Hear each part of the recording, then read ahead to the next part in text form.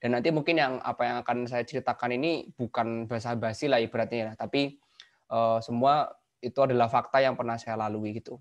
Terus misalkan teman-teman belum tahu tentang saya, uh, mungkin saya bisa ini share screen teman-teman dari apa sang juara.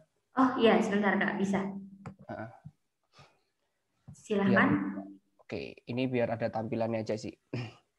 Oke ya, ini sedikit uh, tentang saya teman-teman. Jadi nama saya Reza Aulia Akbar ya. Saya lulus apa S1 itu adalah tahun 2020 di Teknik Industri. Kemudian saya lanjut sekarang double degree di ITS dan Taiwan gitu. Jadi nanti insya Allah saya berangkat ke Taiwan di bulan September. saya juga apa eh, CEO dari Science Center Indonesia. Mungkin yang kalian belum tahu bisa cek aja ya di apa namanya eh, IG kami di hunter. Terus di tahun lalu saya dari Science Hunter ini akhirnya memutuskan untuk membuat perusahaan. Jadi saya punya perusahaan sendiri namanya PT Riset Prestasi Indonesia dan perusahaan ini saya menjabat sebagai komisaris utama gitu. Jadi lulus S1 uh, eh, karena teknik industri jadi sekalian buat perusahaan gitu yang berhubungan dengan industri. Untuk pengalamannya sendiri eh, teman-teman yang mungkin suka dunia karya tulis ilmiah ataupun penelitian dan saya rasa nantinya kalian yang apa sebagai mahasiswa gitu ya nantinya itu pasti uh, akan merasakan namanya karya tulis ilmiah.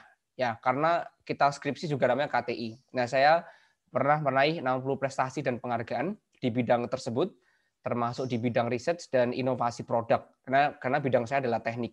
Dan saya punya 43 karya research. Kalau teman-teman mau lihat bisa juga di LinkedIn saya nanti uh, ngecek gitu ya apa aja karyanya. Dan dari 14 bidang riset yang berbeda. Itu saya pernah nyoba karena kalau saya kan dari industrial engineers ya. Jadi saya itu uh, belajarnya benar-benar cukup luas. Teknik dipelajari, sosial dipelajari, IPA juga iya gitu. Jadi tekniknya dapat, sosial dapat, IPA-nya dapat. Saya juga adalah uh, mahasiswa berprestasi uh, second outstanding student of ITS di tahun 2019. Saya juga pernah dapat Nobel teman-teman di apa sebagai peneliti muda berprestasi DIY itu ketika saya SMP satu kali dan SMA saya dua kali. Kalau untuk untuk apa mahasiswa itu sebenarnya ada penghargaannya, cuman kuliahnya harus di Jogja gitu. Nah kebetulan kan saya hijrahnya kan ke Surabaya ya ke ITS, jadi akhirnya uh, ini nggak bisa gitu. ada ada penghargaannya kalau di Jogja. Saya juga pernah dapat peneliti muda terbaik di bidang transportasi tingkat nasional yang diberikan langsung oleh uh, ini ya apa kalau teman-teman tahu Menhub kita Pak Budi Karya Sumadi. Jadi itu sekilas terkait dengan pengenalan saya. Terus saya akan lanjutkan terkait dengan apa uh, suasana di ITS ya. Jujur uh, dulu saya itu kan dari Jogja. Mungkin kalian paham lah ya kalau di Jogja itu yang kampus yang paling ternama ya pasti UGM gitu kan ya. Sama gitu. Orang tua saya juga iya. Tapi ketika itu uh, saya memang ada dua target. Saya pengen ke UGM sama ke ITB. Dan dari uh, kelas 2 saya pengen naik teknik industri. Jadi saya tuh udah punya keinginan teknik industri itu sejak kelas apa namanya? kelas 2 SMA. Itu memang udah kekeh di awal kayak gitu ya. Nah, terus seiring berjalannya waktu kan saya penelitian ya. Saya riset di tempat-tempat karena kan saya dulu memulai riset itu sejak masih kecil banget, masih katakanlah masih SD lah ya. SD itu mulai terus kok ngelihat ada salah satu momen eh, saya sendiri ke UGM gitu. Terus ternyata kok oh gedungnya kayak gini, fasilitasnya kayak gini.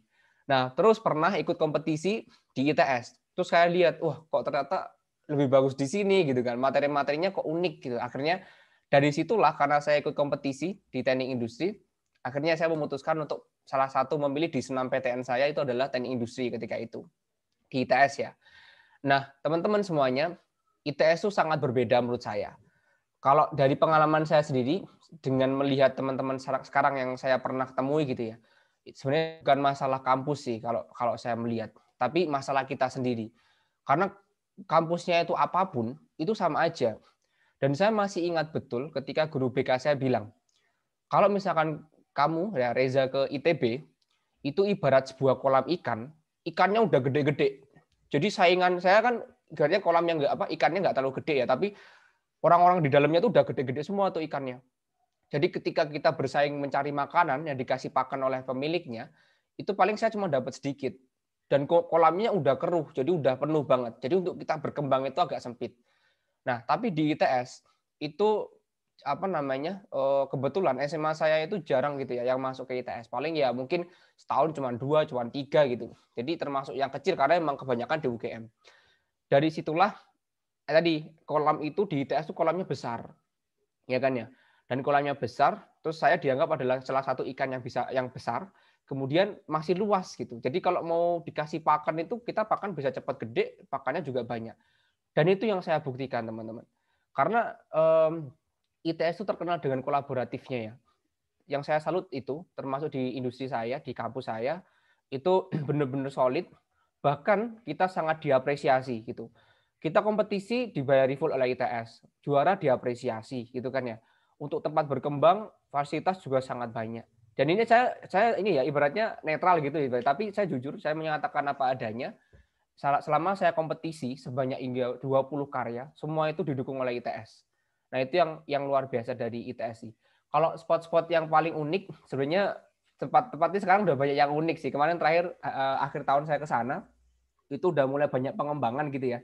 Tapi kalau saya sih favorit ya di di kampus saya sendiri ya di TI karena TI itu kan gedungnya baru gitu pas pas saya masuk itu pas baru-barunya dan itu menurut saya uh, banyak hal yang paling seru sih. Nah, yang paling berkesan itu di lab gitu. Karena di lab itu kan tempat kita paling ya pasti hampir setengah hidup selama mahasiswa itu di laboratorium teman-teman. Makanya itu sih yang beberapa hal yang bisa ini saya sampaikan. Nanti kalau misalkan mau dilanjut pertanyaan silakan. Terima kasih Kak Reza jawabannya. Sedikit tentang kampus ITS. Oke, sebelumnya ini sudah ada pembicara kedua kita yang datang memang seharusnya tadi kami sapa di awal tapi memang ada sedikit ya sedikit kendala jadi memang tadi belum bisa hadir di awal jadi selain ada Kak Reza pagi ini, pagi ini kita juga akan sharing-sharing dengan Kak Tamara dari Fakultas Kedokteran Universitas Airlangga. Selamat pagi Kak Tamara. Halo, selamat pagi. Maaf ya, saya tadi masuknya telat karena ada gangguan koneksi di sini. Baik, tidak apa-apa. Gimana kabarnya Kak Tamara? Sehat? Baik, Baik, sehat. Hmm. Baik, oke.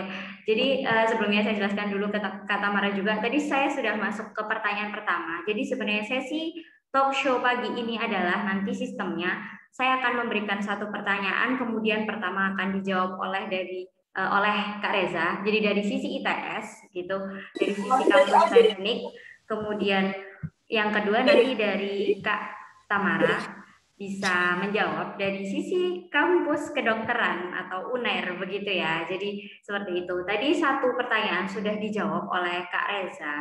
Jadi pertanyaan pertama saya adalah mengenai uh, lingkungan kampus di ITS atau UNER. Tadi sudah dijelaskan tentang kampus ITS.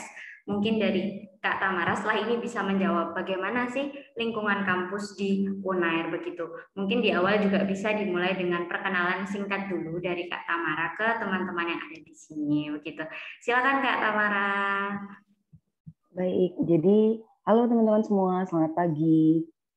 Ini nampaknya semua pada antusias ya untuk ikut uh, acara talk show ini. Jadi perkenalkan dulu nama saya Tamara Audrey Kadarusman, sarjana kedokteran uh, saat ini sedang uh, menjalani masa koas di Fakultas Kedokteran Universitas Erlangga untuk Rumah Sakit Umum Dr. Stomo dan Rumah Sakit Umum uh, Universitas Erlangga Surabaya. Lagi nunggu untuk uh, ujian kompetensi dokter. Jadi kalau semua berjalan lancar, bulan sekitar bulan Mei nanti saya sudah ganti gelar gitu. Uh, ini nanti sharing-sharing aja. Uh, kalau misalkan ada pertanyaan mungkin dari kakak uh, kakak moderator dan dari teman-teman nanti bisa disampaikan. Semoga saya bisa jawab ya. Itu aja sih kak. Thank you. Oke, Kak Tamara. Terima kasih perkenalan singkatnya nih. Tadi sudah dijawab nih pertanyaan pertama saya tentang gimana kampus ITS oleh Kak Reza. Jadi Kak Reza menjelaskan bahwa di ITS, kenapa Kak Reza dulu pilih ITS juga, walaupun sebenarnya Kak Reza dari UGM, eh dari UGM, dari Jogja yang notabene kampus UGM di sana terkenal begitu ya. Jadi Kak Reza kenapa nih pilihnya ke ITS dan memang akhirnya Kak Reza menjelaskan juga bahwa apa sih uh, topnya ITS tuh kenapa Kak Reza akhirnya benar-benar yakin untuk milih ITS dan sekarang memang Kak Reza bangga juga nih jadi mahasiswa ITS gitu ya. Mungkin Kak Tamara bisa jelaskan kenapa nih Kak Tamara pilih UNER dan masih juga uh, mungkin sekarang kelebihannya UNER nih apa yang Kak Tamara rasakan? Silakan Kak. Oke, terima kasih pertanyaannya Kak. Jadi waktu dulu tahun 2015 ya, waktu saya baru lulus SMA itu, saya kan memang uh, waktu itu cari-cari kampus ya.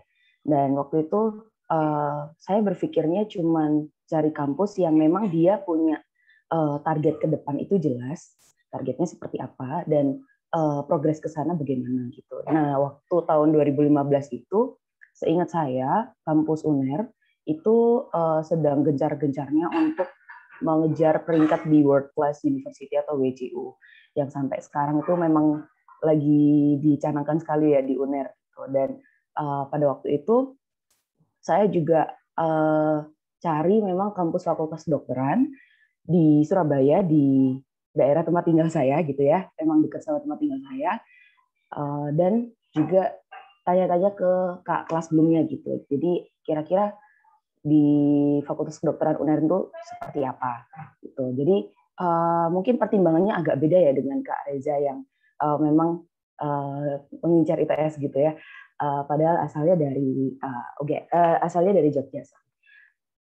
Saya waktu itu mikirnya pinginnya uh, di dekat rumah, terus juga kampusnya memang kampus yang mereka punya progres baik ke depan gitu. Dan waktu itu yang saya lihat yang paling potensial adalah Fakultas Kedokteran UNER. Jadi ya waktu itu saya yang ada di pikiran saya hanya saya ingin masuk FK UNER, nggak tahu gimana caranya gitu. Jadi waktu itu pilihan pertama SNMPTN saya adalah FK UNER gitu. Nah, eh, pilihan kedua pilihan keduanya waktu itu waktu SNMPTN saya pilihnya eh, fakultas kedokteran lain di kota saya waktu itu sekolah. Kota saya waktu itu di Semarang. Dan uh, kalau misalkan katanya kan dulu dengarnya kalau misalkan SNMPTN daftarnya di dua-duanya universitas yang cukup ya cukup populer, cukup ada di 10 peringkat teratas di Fakultas Kedokteran kan katanya yang pilihan kedua kayak nggak akan masuk kan. Jadi kayak memang saya sekedar isi di situ sebagai formalitas dan kayak akhirnya saya cuma mikir saya akan keterima di pilihan pertama, saya akan keterima di pilihan pertama. Dan ternyata ya puji Tuhan keterima. Jadi itu sih mungkin pertimbangan saya kenapa sih saya pilih kampus UNER. Oke, kata Mara. Wah, pertimbangannya beda nih uh, sama Kak Reza ya tadi. Nggak apa-apa. Memang uh, apa ya? Pertimbangan tiap orang tuh beda-beda adik-adik. Nah, di sini adik-adik juga bisa lihat nih. Sebenarnya tapi semua memang kembali ya ke diri karena uh, intinya nanti yang menjalani juga kalian sendiri begitu ya. Jadi bukan karena uh, ah saya mau ikut-ikut ini, ah saya mau ikut alasannya Kak Reza, ah tapi nanti nggak bisa mempertanggungjawabkan juga kayak gitu ya. Oke, nah sebelumnya saya sampaikan juga ya, ini tadi adalah pertanyaan awal, tapi bukan berarti nanti kita akan hanya bahas kampus ITS atau UNER saja. Kita nggak mengkotak-kotakan itu ya pagi ini, tapi memang ini tadi adalah perkenalan nih karena Kak Reza dari ITS dan Kak Tamara juga dari UNER. Nah, untuk selanjutnya nih, nanti adik-adik juga akan ada sesi uh, tanya jawab. Boleh nih nanti adik-adik tanya ke pemateri intinya di sini boleh tanya apa saja tentang kehidupan kampus ya. Jadi nggak harus memang tentang ITS atau UNER begitu ya. Siapkan adik-adik pertanyaannya. Mungkin sekarang Mbak pancing dulu. Mungkin nanti akan ada pertanyaan. Kita akan ada sesi tanya jawab ya. Nih selanjutnya pertanyaan kedua. Boleh dijawab gantian juga lagi ya Kak. Jadi boleh dari Kak Reza dulu, kemudian dilanjut dengan Kak Tamara gitu ya. Jawabannya nggak nyontek ya Kak ya. Jawabannya nggak boleh nyontek. Oke, okay. eh, ini pertanyaan kedua kak. Jadi tadi setelah kita ngobrol kampus ya, nah tentunya dulu pasti masuk fase mahasiswa baru ya, nggak mungkin tiba-tiba sekarang udah kak Tamara Koas, nih ya kak Reza juga sudah masuk di sini kan nggak mungkin langsung kenal juga gitu. Nah, gimana sih kak caranya dulu itu membiasakan diri dengan keadaan kampus yang masih baru? Jadi kan adik-adik di sini juga memang akan memasuki fase itu. Kalau Kak Reza gimana, kemudian Kak Tamara gimana? Pasti ceritanya beda. Silahkan Kak Reza dulu. Oke, terima kasih. Ada banyak cerita unik sih kalau ini ya, ke, ke, keinget jadi mahasiswa baru teman-teman. Jadi gini, dulu ketika saya SMA, Itu kan memang saya punya hobi riset ya, menulis sama riset lah menulis itu. Nah, eh, ketika SMA saya punya cita-cita, saya tuh pengen keluar negeri. Itu saya pengen banget sejak SMP sama SMA, tapi nggak pernah terwujud teman-teman. Nah, terwujudnya itu ya, ini sekalian saya coba ini share ke kalian, jadi biar ada interaksinya. Nah, dulu pas saya masih ingat betul, ada kompetisi pas saya masuk di ITS itu eh, lomba penelitian transportasi. Ini lombanya tahun 2016. Jadi pas pas saya jadi maba itu ya, persis banget. Itu lima minggu saya jadi mahasiswa baru, saya itu uh, dapat juara ini, juara tiga, dan itu di tingkat SLTA S1, dan hadiahnya ini ke Australia. Itu membuat saya senang banget teman-teman, karena ya apalagi karena saya di ketika mahasiswa baru itu uh, eh, SMA udah pengen keluar negeri tapi nggak pernah bisa, tapi ternyata terwujudnya ketika tahun 2016 Nah, tapi ya ini ada hal unik. Nanti mungkin kan juga bisa kejadian sih. Jadi ketika itu ada dua pilihan yang cukup berat. Kan tadi berangkat ke Australia. Saya belum pernah ke luar negeri.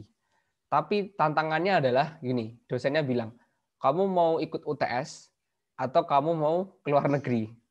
Nah, coba pilihannya kayak gimana? Padahal padahal uh, kita aja ini ya, apa? Oh, saya udah banyak ini sih sampai konsultasi dengan dosen wali jadi kalau kalian nanti ke apa namanya ke kuliah pasti ada dosen wali yang mendampingi. Saya tanya, Pak, ini gimana Pak ya? Saya di, disuruh pilih gitu kan. Nah saya akhirnya saya cuma bilang, e, padahal ini saya juga pertimbangan saya tidak SMA, kemudian saya ikut lomba ini juga tujuannya bisa keluar negeri. Terus kan karena juga udah membawa nama baik jurusan kan, masih maba lima minggu, udah nambah nama jurusan, jadi akhirnya oh paling nanti kami coba bantu untuk uh, nyusul UTS-nya. Tapi teman-teman ternyata nggak bisa Coba bayangin coba. Berangkat tapi ada beban. Nah, tapi emang culture dari dosennya tuh kayak gitu. Ya, jadi teman-teman nanti ketika mungkin kuliah, nggak semua dosen tuh juga asik ya. Aku jujur aja ya. Ada mungkin dosen semua kampus ya, semua kampus. Ada mungkin dosen yang agak pengennya itu kita harus datang terus, nggak mau ditinggal. Kalau lomba ya lomba sendiri. Tapi ada juga dosen yang sangat apresiatif gitu. Ternyata pas pengumuman maba itu, tahu atau tidak ya, kan saya nggak pakai kacamata nih pas itu saya ngeliat tuh nilai set ya kan oh ini kayaknya dapat B lah gitu. Karena menurut saya kuis saya baik-baik aja untuk uas juga baik-baik aja. Ternyata nilainya apa? Dapat E. Kan bisa bayangin itu yang pernah saya dapetin ketika awal. Itu dapat E dan nilainya 0 di 3 SKS itu sangat-sangat luar biasa itu impactnya. Jadi yang lain itu nilainya bagus tapi gara-gara itu itu jatuh banget IP IPS saya tapi alhamdulillahnya itu masih di atas tiga. Jadi 3,03 kan saya masih ingat banget tuh. Karena itu syarat untuk daftar beasiswa teman-teman. Jadi kalau udah di bawah tiga saya nggak bisa dapat beasiswa. Karena kan saya juga dapat beasiswa eh, namanya beasiswa unggulan prestasi dari Kemdikbud kan. Itu full dari biaya kuliah dan biaya hidup. Itu syaratnya di apa eh, minimal tiga. Nah dari situlah teman-teman itu aneh gitu. Selama saya SMP SMP SMA yang katanya pernah dapat Nobel dapat ini saya dikirimin surat orang tua saya itu ini loh anak kalian tuh nggak lolos. Tuh bayangin coba tuh dapat surat kayak gitu kan ya. Itulah namanya dunia kuliah. Jadi ketika saya jadi maba ya apa namanya ya juga langsung down ya. Karena uh, eh, SMP SMA kayaknya baik-baik aja tapi kok kuliah langsung kena kayak gituan. Dan itu di mata kuliah ini kalkulus. Jadi ya saya teknik industri saya juga nggak terlalu senang matematika banget gitu ya. Tapi ternyata jatuh di kalkulus dan itu pun bukan karena kita gitu loh. Karena memang dari dosennya sendiri nggak menyanggupi itu. Itu terkait dengan cerita ini ya cerita apa nilai dan kuliah. Karena itu berhubungan dengan dosen.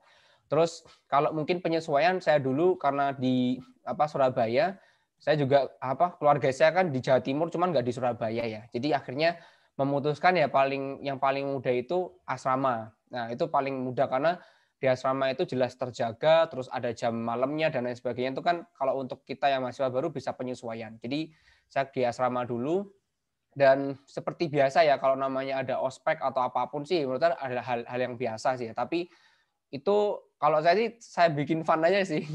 Mau nanti mereka marah-marah kayak atau apa itu nggak usah terlalu dipikirin lah gitu. Dan kalau saya gini di mungkin nanti kalau kalian kan pada pada males ya kalau wah ini mbak masnya karena kan namanya maba itu pasti di ospek gitu kan pasti pada mikir wah malas banget ini salah dikit dimarahin. Kalau saya cuma bilang gini, cuma di dalam hati saya, loh uh, emang banyak bisa nyontoin yang bagus gitu kan. Saya cuma mesti kayak gitu di dalam di dalam hati. Nah terus pas pernah tuh dari apa namanya kon uh, mbaknya ini ngulang gitu, ngulang mata kuliah bareng sama angkatan kita. Oh itu aku langsung bilang loh, mbaknya aja berani ngomongin kita gitu kan, berani ngasih tahu. Tapi kok banyak sini nggak bisa ngasih contoh yang bagus. Itu pernah saya kayak gitu. Dan ketika saya dapat juara dan lain sebagainya, saya saya balik ngomong, nih loh saya udah dapat prestasi. Terus mbaknya gimana nih? Gitu. Nah itu kadang rasa dendam yang sebenarnya positif gitu ya. Dan sebenarnya juga karena itu ada ada cuman awal-awal aja sih. Tapi nanti kalau ke depannya kalian sudah kenal deket juga nggak akan kayak gitu. Jadi it's okay dengan dunia kuliah yang awal kalian jadi maba apa pun lah ya. Ya memang memang ini sih agak berbeda dengan SMA. Yang jelas jangan males gitu karena SMA kalian masih dikejar-kejar guru. Kalau kuliah kalian mau ikut kuliah, kalian mau tidur di kos, kalian mau mau nggak berangkat itu adalah urusan kalian. Dan nggak nggak mungkin dosennya nyari ini kok nggak datang nih Reza nih ke mana ya itu nggak mungkin. Jadi itu sih yang mungkin bisa kalian tahu dari beberapa hal yang cita saya juga. Jadi nggak semuanya itu mulus gitu selama kita kuliah. Oke, terima kasih Kak jawabannya lah lengkap banget. Tapi memang kita bisa ambil kesimpulan dari Kak Reza bahwa jangan males ya, udah jangan males pokoknya. Yang sekarang masih males-males, tolong tolong dirubah dulu.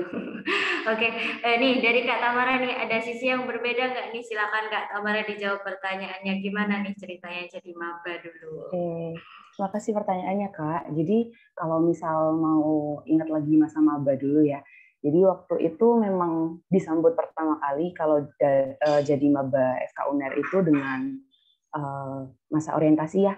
Mungkin kalian kenalnya sebagai sebutan ospek. Jadi kalau di FK UNER itu nama orientasinya adalah cerebrum ya. Nah di cerebrum itu nanti ya memang dari kakak tingkat nanti akan memberikan banyak sekali uh, semacam penugasan, kemudian juga memberikan kita nanti semacam uh, didikan gitu ya, semacam uh, jangan dari kelas seperti itulah. Dan uh, yang waktu itu saya rasakan adalah stres ya teman-teman ya. Sebenarnya memang stres itu diciptakan, tapi semakin saya ke sini, saya tuh semakin paham kenapa sih dulu dilakukan seperti itu di cerebrum gitu. Waktu itu saya memang menolak ya, karena kan memang sistemnya uh, pada waktu saya ya, pada waktu saya itu masih yang uh, ada nada tinggi dibentak dan lain sebagainya. Tapi nggak nggak sampai uh, main fisik. Dan kalau di FK UNER itu bagusnya kita tanda tangan semacam perjanjian antara mereka-mereka yang menjadi panitia cerebrum dan kita gitu. Jadi memang ada persetujuan yang itu memang harus dijalankan sampai akhir masa prospek dan bahkan ada semacam dalam tanda kutip persidangan. Jika ada yang dirasa uh, melenceng dari MOU atau persetujuan yang ditandatangani di awal. Dan itu mengajarkan kita untuk fair gitu ya. Dan uh, pada waktu itu memang saya merasa penolakan gitu ya. Kenapa harus dibentak-bentak? Kenapa harus seperti ini? Tapi uh, semakin ke sini saya makin sadar bahwa ya apa yang diajarkan selama di ospek itu yaitu untuk mendidik kita untuk membentuk karakter kita ketika nanti kita uh, ke depan gitu menghadapi ya katakanlah menghadapi dosen menghadapi kehidupan kuliah menghadapi interaksi dengan uh, sesama teman satu angkatan dengan kakak tingkat karena nanti akan banyak uh, project yang akan kalian jalankan uh, bersama satu angkatan kalian bahkan saat masih maba gitu. Salah satunya nanti kalian akan pegang netspin ya, lomba uh, UNER yang uh, siapa nggak tahu ya gitu ya, kayak sebesar itu tingkatnya sekarang udah internasional, benar-benar semua negara bisa join dan itu dihandle satu angkatan kalian gitu. Jadi ya pendidikannya ya semenjak di Cerebrum itu. Jadi saya sadar waktu di Cerebrum uh, akhirnya karakter yang sudah terbentuk waktu cerebrum itu juga kebawa waktu uh, udah jadi mahasiswa setelah jadi maba gitu ya setelah mahasiswa baru. Uh, selain itu juga masa-masa maba itu setelah mulai semester satu ya setelah mulai perkuliahan saya tuh ingat uh, saya belajar untuk menyesuaikan dengan apa ya gaya perkuliahan gitu. Kalau misalkan mungkin di SMA guru itu kan lebih terlibat ya dalam proses kita belajar. Guru akan lebih uh, mengingatkan tugas, guru akan lebih uh, apa ya istilahnya lebih dalam tanda kutip ya lebih care sama siswa gitu. Saya bukan bilang dosen nggak care ya, enggak. Cuman maksudnya kalian tuh jadi lebih mandiri ketika sudah mahasiswa. Jadi mungkin teman-teman yang pertama kali nanti jadi maba agak kaget sama cara belajar yang benar-benar kalian tuh istilahnya mandiri sendiri itu mulailah disesuaikan dari sekarang gitu ya. Mulailah bikin uh, jadwal belajar sendiri, study buddy sendiri kalau kalian yang seneng kayak belajarnya bareng-bareng untuk diskusi dan saling tentir seperti itu atau uh, kalian yang lebih suka belajarnya itu terjadwal itu kalian baik banget untuk membuat kebiasaan baik dari sekarang gitu. Karena nanti begitu kalian di maba itu yang akan terjadi gitu. Jadi kalian akan menyesuaikan dengan mas, uh, masa belajar yang baru dengan sistem uh, perkuliahan yang baru. Dan belajar untuk uh, yang kerasa banget di saya itu belajar untuk jadi jauh lebih mandiri sih di kuliah. Jadi itu sih mungkin yang uh, aku pelajarin. Jadi lebih mandiri kemudian juga uh, jadi lebih apa ya lebih nggak terlalu apa ya emosional untuk menghadapi ini dan itu karena uh, memang kita diajarkan jadi lebih profesional sih sejak setelah cerebrum dan uh, menghadapi perkuliahan jadi nggak dalam tanda kutip nggak baperan gitu ya gitu mungkin itu sih kak yang mau aku share Kak Tamara, terima kasih. Ini kalau dari Kak Tamara adalah jadi mandiri ya. Kalau dari Kak Reza tadi jangan males. Kalau dari Kak Tamara belajar dari sekarang untuk mandiri. Karena akhirnya bisa disimpulkan dari kedua jawaban Kak Reza dan Kak Tamara ya bahwa memang nanti ketika kuliah adalah dosen itu nggak nyari kalian gitu ya. Kalian nih yang harus menumbuhkan semangat juga gimana mau cari nilai yang baik, belajar yang baik seperti itu ya. Gitu. Jadi itu jangan malas dan jadi mandiri nih mulai dari sekarang. Oke, dilatih dulu. Udah ke pertanyaan selanjutnya nih, wah nggak kerasa sudah 8.40 aja. Padahal kita sesinya sampai jam 10 aja. Belum pertanyaan dari adik-adik nih. Masih pertanyaan dari Mbak dulu ya. Adik-adik kalau ada yang mau nanya, boleh nih misal takut pertanyaannya lupa, silahkan dipotong dulu via chat ya. Jadi bilang dia, saya mau tanya nih kak, gitu boleh silahkan di chat aja di kolom chat dulu. Nanti Mbak akan persilahkan adik-adik untuk tanya langsung, gitu ya. Bisa tulis di kolom chat dulu. Pertanyaan yang ketiga nih, Kak. Hmm, tadi ini sudah cerita soal jadi maba. Nah, sekarang kita jalan sedikit. Kalau dari Kak Reza atau Kak Tamara, gimana sih Kak menemukan tujuan dari kuliah? Intinya awal maba tadi transisi ya, adaptasi. Nah, setelah itu pasti punya kan bisa punya tujuan di kuliah ini mau apa gitu ya. Kemudian biar kita bisa fokus dengan tujuan kita itu tuh gimana Kak gitu.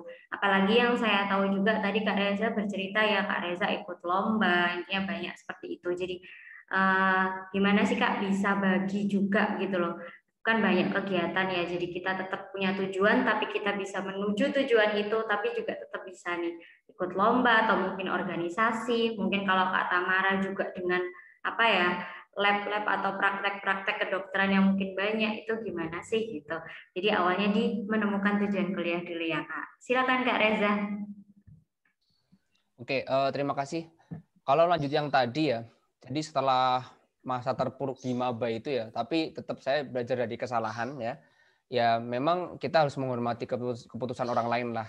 Terus uh, ketika semester 2 itu kan juga udah mulai ini sih masuk ke mata kuliah yang banyak di jurusan. Jadi teman-teman semua biasanya itu kampus itu ada mata kuliah bersama. Nah, yang kemarin awal itu adalah mata kuliah bersama.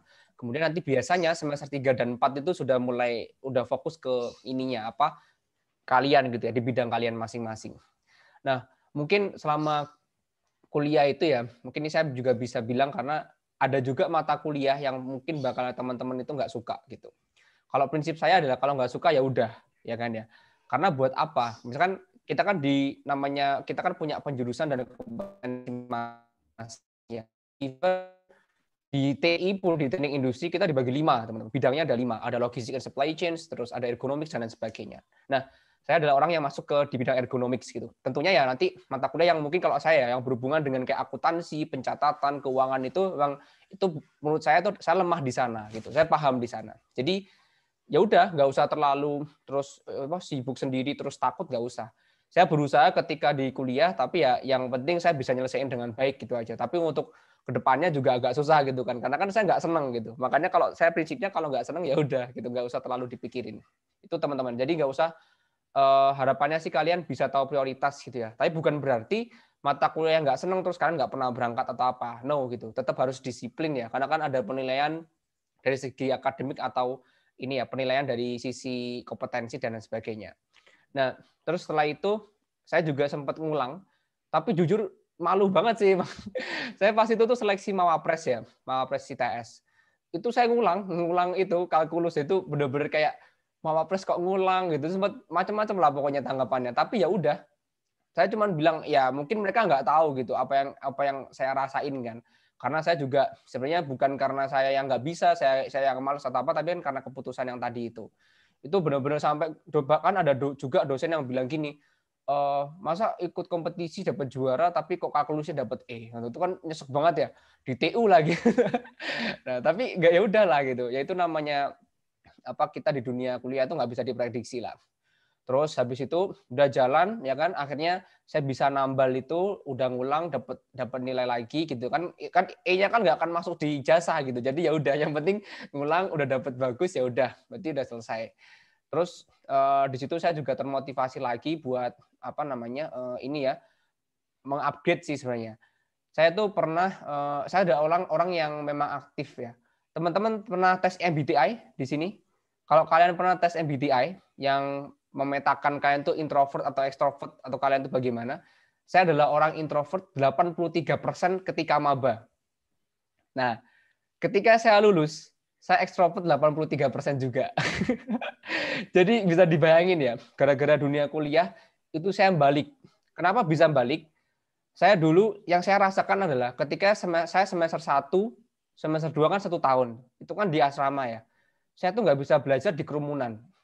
Jadi kalau pada belajar di kampus, belajar bareng, itu saya agak susah untuk konsentrasi. Jadi lebih sering belajar eh, di, di asrama sendirian, itu lebih nyaman dan menurut saya lebih cepat. Tapi berubah teman-teman. Semester 3, saya memutuskan untuk masuk ke organisasi. Makanya teman-teman yang mungkin merasa introvert, gak punya teman atau apa pun, saya pernah ngerasain kayak gitu.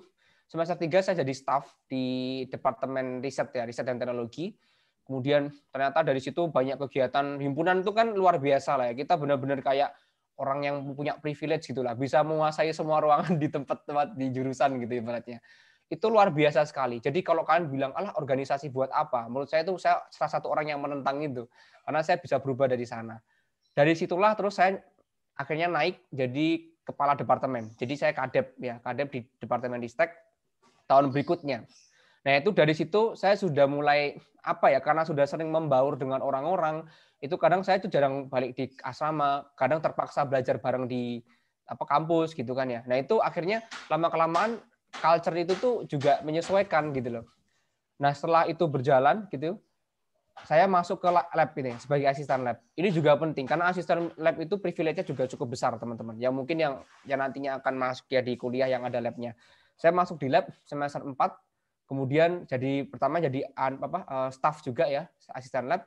Tahun berikutnya bersamaan dengan saya jabat di kepala departemen himpunan itu saya jadi koordinator asisten. Jadi kan bisa bayangin saya satu kali ini satu satu tahun yang pertama di semester 4 tepatnya semester 4 dan itu sibuk-sibuknya kuliah. Jadi kalau kalian pengen tahu sibuk-sibuknya kuliah itu di semester 3 sampai 5 biasanya di puncaknya kalau nggak di 4 sama 5 kalau di jurusan saya ya.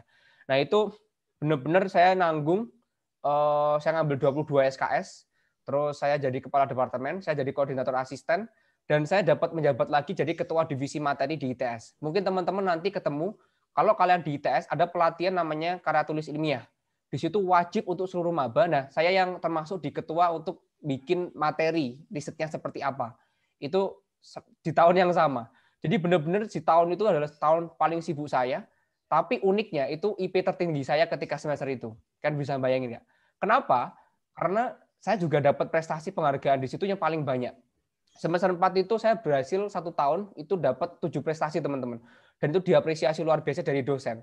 Artinya nilai itu bukan hanya dengan kompetensi yang kalian kerjakan itu enggak. Tapi bisa jadi sebagai wujud apresiasinya. Karena bidang yang saya ikuti kan teknik ya. Dan itu kan berhubungan dengan industrial engineers gitu.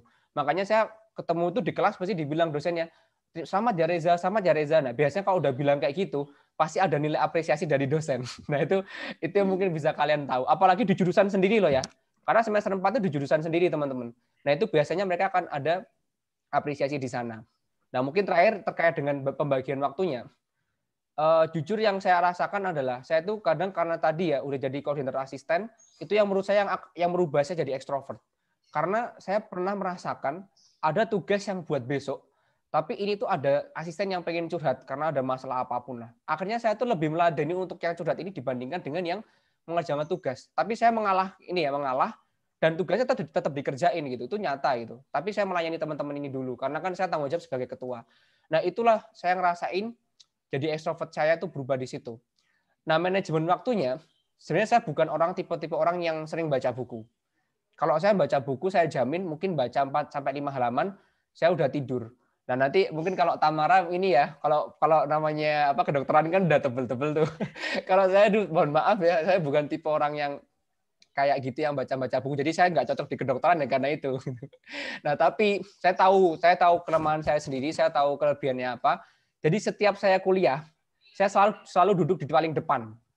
Kalau nggak percaya, tanya deh teman-teman ITS di TI ya. Kalau Mas Iza kalau kuliah di mana, mau kuliah apa pun, saya pasti duduk di, di depan.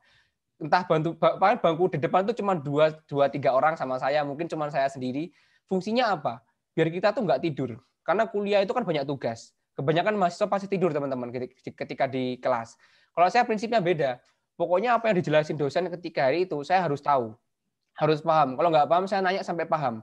Kalau kalian nggak paham itu di minggu ke satu sampai ke minggu ke 8 kalian cuma dapat 50 persen berapa banyak hal yang nggak kalian pahami ketika mau UTS wah itu udah parah nanti kalian pasti ngajarin ke temennya itu bingung. Jadi saya tuh santai-santai aja kalau mau tes ya udah paling tinggal review dan saya udah paham apa yang dibicarain.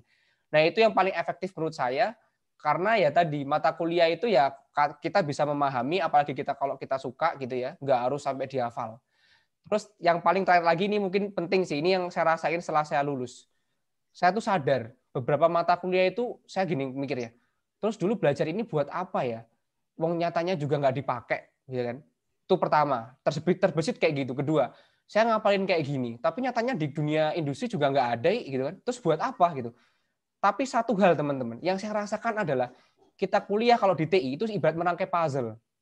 Jadi yang dapat itu adalah sistem thinkingnya, bukan bukan materinya, definisinya itu bukan. Tapi dari semua materi yang kita punya itu kita bisa tahu, oh ternyata aku bisa ngatur manusia, aku bisa ngatur, ngatur mesin. Kalau di teknik industri kan dia integral ya, kita mengintegrasikan semuanya. Itu yang saya rasakan. Jadi soft skill itu yang paling penting daripada kompetensi hard skill-nya. Makanya dunia kerja itu kan nggak mungkin ditanyain kan definisi ABC kan nggak mungkin. Nah itu mungkin nanti bisa jadi pertimbangan kalian. Nilai itu dari pemahaman, tapi ke depannya kan harus paham betul apa yang akan diterapkan dari materi itu itu sih dari saya. Mohon maaf kalau agak panjang ya. Oke, okay. Kak Reza, terima kasih. Kak Reza memang kalau jelasin memang lengkap banget, yang bukan panjang kok Kak. Maksudnya adalah memang lengkap banget ya apa-apa. Uh, jadi kalau Kak Reza tadi itu ya ikut lomba, tapi nanti nilainya jelek tuh ya. tapi besok-besok ikut lomba dapat apresiasi itu dari dosennya, gitu tujuannya teman-teman. Oke, kemudian Kak Reza juga jelasin kalau nggak suka baca buku, tapi kuliahnya duduk di depan kayak gitu. Nah, kalau dari sisi Kak Tamara ini gimana? Tadi Kak Reza udah nyinggung dikit bahwa kalau kuliah kedokteran kan kayaknya bukunya tebel-tebel nih. Apa Kak Tamara ini gimana ya? Atau Kak Tamara punya tips trik nih gimana Kak Tamara bisa kuat baca buku, kitab-kitab kedokteran nih? Silakan Kak Tamara.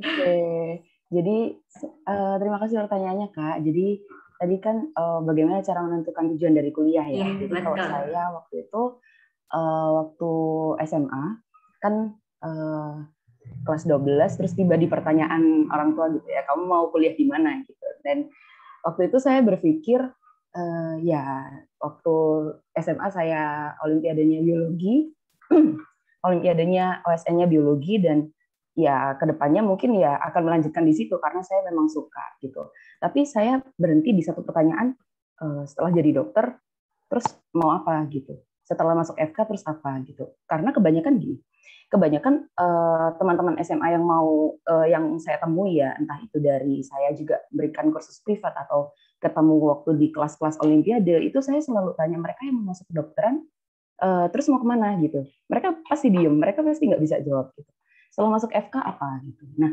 waktu itu saya bertanya seperti itu ke diri saya dan uh, akhirnya saya uh, menemukan tujuan saya itu ya sejak saya sebelum masuk di FK gitu.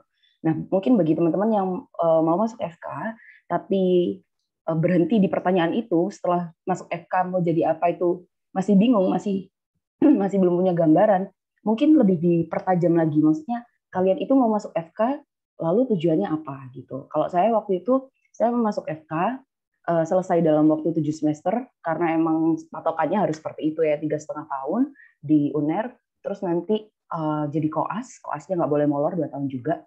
Terus nanti setelah itu uh, dilanjutkan internship satu tahun lalu saya akan langsung ambil S2-nya dulu. Ambil magister sorry ngambil magister, kemudian nanti lanjut uh, pendidikan spesialis dan dan seterusnya dan seterusnya gitu ya. Jadi saya tuh sudah bikin timeline itu sejak saya masih SMA gitu. Jadi saya tahu ke depan tuh saya mau ngapain kayak gitu. Gak cuman berhenti masuk FK, abis itu ya udah jalanin aja gitu. Saya agak-agak kurang sepaham ya sama teman-teman yang mungkin sukanya kayak hidupnya oh, jalanin aja gitu. Kalau saya lebih suka kayak ada timeline-timeline tertentu yang harus saya capai gitu. Tapi juga uh, tips kedua dari saya jangan membatasi diri dengan uh, kemungkinan-kemungkinan yang ada. Jadi maksudnya gini, misalkan ya uh, waktu di FK inginnya kan lancar-lancar aja, mulus-mulus aja, nilainya bagus dan lain sebagainya. Saya pun juga punya gitu ya kayak target IPK dan lain sebagainya. Tapi kenyataannya uh, waktu sudah dijalani nggak semuanya nanti akan semulus itu, nggak nggak semua di kuliah itu akan seperti apa yang kalian harapkan. Nah, ketika sesuatu itu nggak sesuai sama yang kalian harapkan, apa sih tindakan kalian? Nah, itu yang paling penting sih. Kayak waktu itu saya sempat waktu semester 2 itu kan semesternya anatomi ya teman-teman ya waktu uh, kurikulum saya dulu. Jadi anatomi itu di semester 2. Uh, eh, anatomi 1, 2, 3 itu tiga matkul sendiri dan itu kalau di total kayak 10 SKS kalau saya nggak salah ini. Dan itu benar-benar sangat-sangat devastating ya teman-teman ya karena waktu itu saya kayak percaya diri saya bakal bisa anatomi karena saya juga suka baca gitu. Dan emang menarik gitu, menarik banget. Praktikumnya juga menarik gitu. Tapi kayak setelah dijalani ternyata nggak uh, semudah itu gitu ya. Dan apa yang saya lakukan ya yang saya lakukan akhirnya untuk meng, uh, menutup nilai saya yang kurang baik di anatomi itu ya saya baikkan di bagian lain. Yang mana pada waktu semester itu adalah histologi belajar tentang jaringan gitu. Jadi saya perbaiki nilai saya di situ. Selain itu juga kalau misalkan saya kan dulu juga aktif ya di organisasi jadi di AMSA di Asian Medical Students Association saya salah satu eksekutif uh, board of RNA jadi research and academicnya di bagian AMSA itu saya aktif di situ. Nah, saya merasa kalau apa yang saya dapatkan di organisasi itu akan bisa menutupi apa yang saya dapatkan di kuliah gitu. Jadi nggak melulu tentang kuliah aja, tapi di organisasi juga dapat banyak pengalaman. Pengalaman apa? Pengalaman bisa ketemu sama orang lain, pengalaman bisa uh, uh, mengabdian gitu ya. Karena di sistem kerjanya RNA itu juga banyak kayak model sistem pendidikan yang kita memberikan pendidikan ke uh, anak-anak SD, kita kasih pendidikan ke uh, kasih edukasi ke orang-orang tua tentang eh, penyakit-penyakit tentang degeneratif dan lain sebagainya. Jadi apa yang saya nggak dapat di bangku kuliah itu saya dapatkan waktu organisasi. Jadi saya setuju juga dengan Kak Reza yang bilang uh, penting juga untuk kita berorganisasi seperti itu karena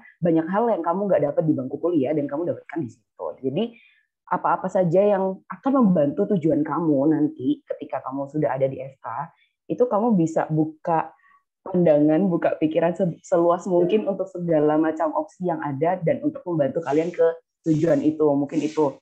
Nah, cara mencapai tujuannya seperti apa? Itu kalau saya eh, fokus lagi sama tujuan. Kamu mau jadi apa tadi ya. Kalau saya kan inginnya lulusnya ya tiga eh, tiga setengah tahun gitu ya, tujuh semester. Jadi saya ya tetap sesibuk apa pun di organisasi. Pada waktu itu saya executive board RNA.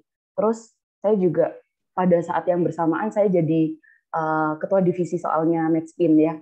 Kalian tahu Medspin uh, lombanya nggak kecil dan itu saya jadi ketua divisi soalnya. Jadi yang ngurusin semua soal distribusi soal dan lain sebagainya dari level yang paling bawah uh, dari penyisihan sampai ke yang final uh, sampai grand final kayak gitu. Kemudian juga saat bersamaan itu jadi uh, bagian dana dan usahanya si uh, apa Dekan Cup waktu itu. Jadi kayak beberapa peran bersamaan, belum lagi kayak aku di luar juga uh, kerja part time dan lain sebagainya. Jadi kayak waktu itu benar-benar pusing ya teman-teman yang ngurusin kuliah, ngurusin organisasi, ngurusin peran di selama di kepanitiaan. Tapi pada waktu itu fokus lagi dengan tujuan. Jangan sampai apa yang jadi tujuan utama itu terbengkalai. Jangan sampai kuliahku terbengkalai. Jadi meskipun nilainya mungkin ya ya nggak sebaik teman-teman yang nggak pernah ikut kepanitiaan atau apa pun, ya tapi seenggaknya balance gitu, seenggaknya seimbang gitu. dapat sesuatu di organisasi dan kepanitiaan, tapi di kampus juga nilainya tetap uh, termaintain dengan baik gitu. Terus juga cari tahu apa-apa saja tadi ya yang bisa membantu tujuan kalian, apakah organisasi kah atau kepanitiaan kah, dan itu juga bisa membangun portofolio diri kalian yang baik gitu. Jadi ketika nanti kalian uh, katakanlah ya kalian bikin CV gitu ya untuk kalian melamar misalkan untuk masuk ke PPDS, untuk masuk kuliah dokter spesialis ya. Kalau misalkan nilai kalian baik, tapi kalian nggak pernah ikut organisasi, berarti di CV kalian kan cuma tertulis nilai kalian, nilai EPK-nya berapa, habis itu kosong bawahnya kan. Istilahnya kan seperti itu. Jadi kalau misalkan kalian uh, nilainya oke, okay, kayak nilainya ya acceptable berapa gitu ya, tapi kalian punya riwayat organisasi ini, ini kepanitiaan di sini, kalian pernah uh, bikin acara ini, ini, ini, itu kan juga membangun portofolio dari kalian jadi baik. Jadi mungkin bisa dipertimbangkan apakah kalian mau jadi anak kuliahan yang lempeng-lempeng aja yang uh, ibaratnya kupu-kupu ya kuliah pulang kuliah pulang gitu. Ataukah kalian mau jadi anak-anak kuliah yang aktif di berbagai bidang tapi juga bisa termaintain dengan baik. Nah, itu juga kunci kalian bisa membagi waktu dengan baik gitu ya. Jadi membagi waktu itu menurut saya bukan dibagi dari awal tapi sambil kalian jalan, sambil kalian pegang tanggung jawab itu Nah, di situ nanti kalian akan belajar untuk kalian bagi waktu itu seperti apa gitu. Jadi experience-nya akan beda antara satu orang dengan orang yang lain. Mungkin itu sih Kak. Jadi uh, fokus sama tujuan kalian dan terbuka sama berbagai pilihan yang bisa membantu kalian untuk mencapai tujuan itu. Mungkin itu sih Kak dari saya. Terima kasih. Oke, terima kasih Kak Tamara. Wah, keren-keren banget nih dua kakak-kakak yang di sini. Saya dari tadi cuma wah, wah gitu. Jadi nggak bisa jawab lagi nih. Kayaknya Mbak di sini dulu adik-adik Tolong Mbak. Jadi dua kakak ini keren semua ya. Tadi Kak Reza jelaskan, Kak Tamara juga jelaskan. Kak Tamara jelaskan bahwa gimana bisa tanggung jawab sama beberapa ini ya beberapa kepanitiaan tapi tetap bisa balance kuliahnya. Tadi Kak Reza jelasin kalau uh, ikut lomba-lomba tapi malah IP-nya di situ yang paling tinggi kayak gitu di semester itu kayak keren banget nggak? Wah ini kalian harus tanya nih harusnya kalian nanya nih gimana itu apa uh, caranya gimana nih? Apa doanya? Apa nih yang perlu dilakuin? Kan gitu ya. Oke. Nih uh, mbak mau kasih kesempatan nih buat adik-adik sekarang. Silahkan tanya dulu sebelum mbak kasih pertanyaan lanjutan untuk Areza atau Kak Tamara. Silakan adik-adik di sini ada yang mau tanya nggak nih? Ah adik-adik masih di sini nggak ya? Dari tadi diem aja nih. Halo? Halo? Wah kita ditinggalin nih kak Halo. Halo. Halo, masih di sini nih. Oke, oke, oke. Ah, masih di sini kan ya? Ada yang mau nanya nih? Adika, Safira, ayo yang masih di sini. Audi, Audi mana nih yang biasanya paling rame di kelas nih? Dani, Daniel, ayo Audi, Audi mau nanya nggak nih? Ini, eh Audi, nanya biasanya paling ramai nih kak. Siswa ini nih kak di kelas nih kak. Ya Audi. Ini nggak apa-apa nih. Audi Audi kan mau masuk kedokteran nih. Nah iya. iya. Nah kakak mau nanya nih. Kan tadi kak Tamara udah jelasin ya kak Tamara itu kalau di kedokteran tuh gimana? Udah ada punya timeline. Audi gimana? Kenapa sih Audi pengen pilih FK dan terus udah ada belum nih kayak besok waktu masuk ke dokteran mau gini-gini udah ada belum Audi? Hmm. Belum sih kayak belum ada pengen. Belum ada bayangan. Oke, Audi gak ada pertanyaan nih buat Kak Tamara nih. Mumpung ada Kak Tamara yang keren banget di sini. Audi gak ada? Masih menyusun kata-kata. Oh, masih menyusun kata-kata. Oke, ditunggu ya. Kak Tamara kita catat ya. Kita tunggu pertanyaan dari Audi okay. yang masih disusun ini. Oke. Okay. Adika, Adika, Adika masih di sini Adika. Ya masih. Adika nih dari Saintek ya Adika. Iya kak. Oke nih, ini ada Kak Reza nih dari ITS nih Adika. Ini prestasi Kak Reza banyak banget nih. Adika pengen nggak jadi kayak Kak Reza nih borong prestasi banyak tapi kuliahnya juga oke. Okay. Ya, pengen Kak. pengen ya. Adika ada nggak sih pertanyaan mungkin buat Kak Reza nih? Mumpung Kak Reza ada di sini. Masih bingung nggak? Masih bingung. Iya ya, terlalu emis kayaknya nih kakak Kak Reza, Kak Tamara maaf ya. Emang aduh saya sendiri juga udah wah mau tanya apa lagi ya udah kayak wah udah nggak bisa ngomong lagi keren-keren emang kakak-kakak yang ada di sini wah Oke, nggak apa-apa ya. Adik-adik belum ada pertanyaan, tapi Mbak tunggu ya. Mbak tunggu nih yang masih menyusun kata-kata. Mbak. Iya, oke silakan. Siapa nih? Selsi. Oh, sel, sel, sel, sel. Ya, ada pertanyaan sel, sel? Ya, aku mau nanya sama Kak Tamara dan Kak Reza. Silahkan. Kan eh, tadi yang aku dengar, kita kan harus berorganisasi gitu. Nah, semisal kita kan baru maba, kita pengen masuk ke organisasi. Terus, gimana caranya kita supaya kita berani untuk eh, di dalam organisasi itu, apakah kita ingin menjadi ketua atau pokoknya yang memegang peran yang penting. Tapi eh, sebelum itu pasti kita berpikir, aduh takut eh, nanti tanggung jawabnya terlalu besar. Takut tidak bisa diimbangin sama eh, pelajaran di kuliah. Nah, gimana cara kakak untuk menghadapi itu supaya kita berani maju, untuk eh, berani memegang tanggung jawab besar dalam suatu organisasi, dan bisa juga berprestasi di mata kuliah gitu. Nggak cuman eh, takut gagal. Nanti kalau aku organisasi aku jadi ketua pasti banyak tanggung jawabnya. Ini nanti ini terbengkalai gitu. Aku mau sarannya dong sama Kak Tamara dan Kak Reza. Terima Oh, kasih. Terima kasih Sel, saya pertanyaannya keren banget ini udah mikir ke sana ya. Jadi eh, Kak Reza, Kak Tamara bisa dijawab. Jadi gimana ya eh, ketika kita mau mengemban tanggung jawab yang mungkin memang berat ya terlihatnya ketua divisi atau mungkin ketua departemen seperti Kak Reza tadi, tapi kita juga tetap keren di mata kuliah ya di kelas gitu. Boleh dijawab ya. Silakan Kak Reza dulu. Oke, eh, terima kasih atas pertanyaannya. Ini luar biasa ya udah memikirkan ke sana nih. Memang kalau dulu saya juga nggak ada kepikiran jadi ketua sih sebenarnya nggak nggak sama sekali nggak ada ya karena kan belum tahu kondisi lingkungan kuliah seperti apa. Yang memang adaptasi dari SMA ke kuliah itu juga lumayan signifikan berbeda teman-teman. Kalau mungkin kalian bilang SMA wah udah capek gitu tugasnya banyak itu belum apa-apa dengan kuliah mungkin bisa sampai 5 sampai 10 kali lipat bayangan dari dari awal yang mungkin kalian rasakan gitu ya.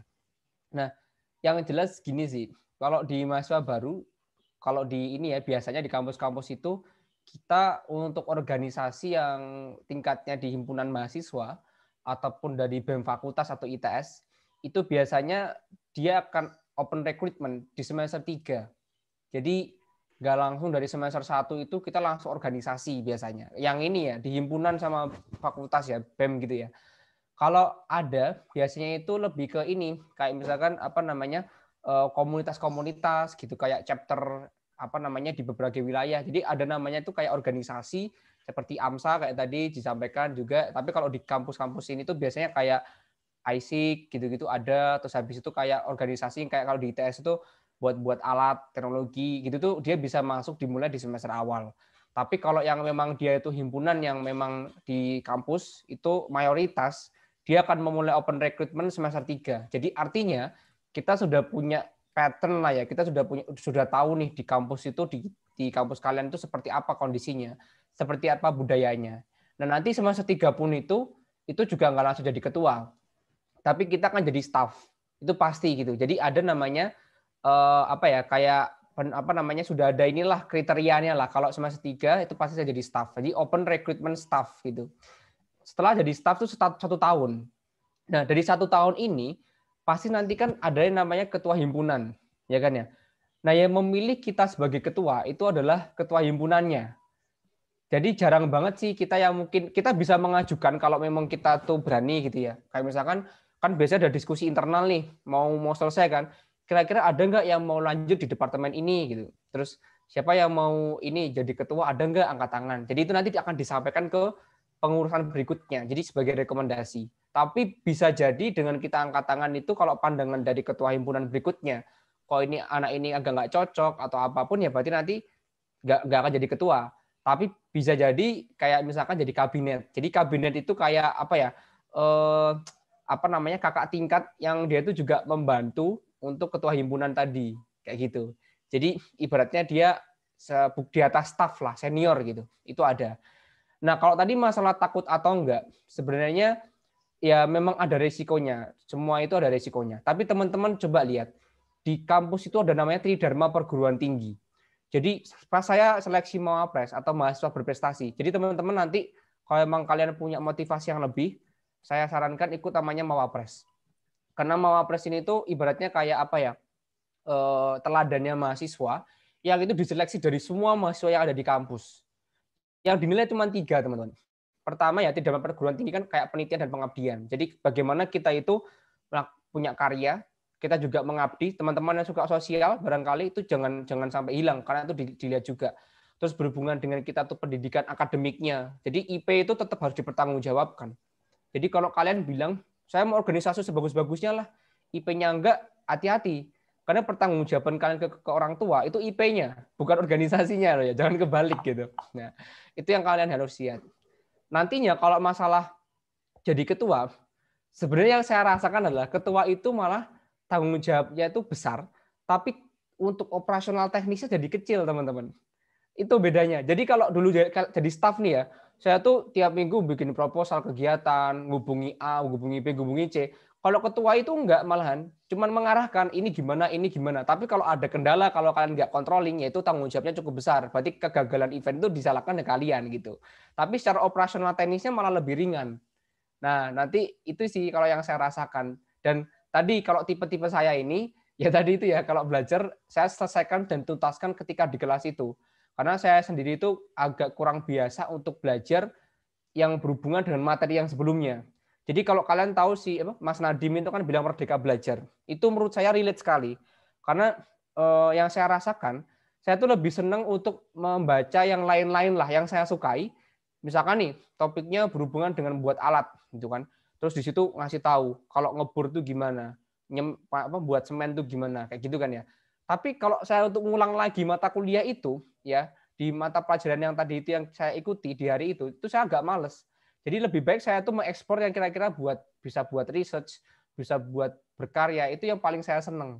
Nah itu yang jadinya itu merdeka belajar di sana. Dan terakhir untuk kuliah itu nggak sepenuhnya nilai ditentukan oleh kompetensi.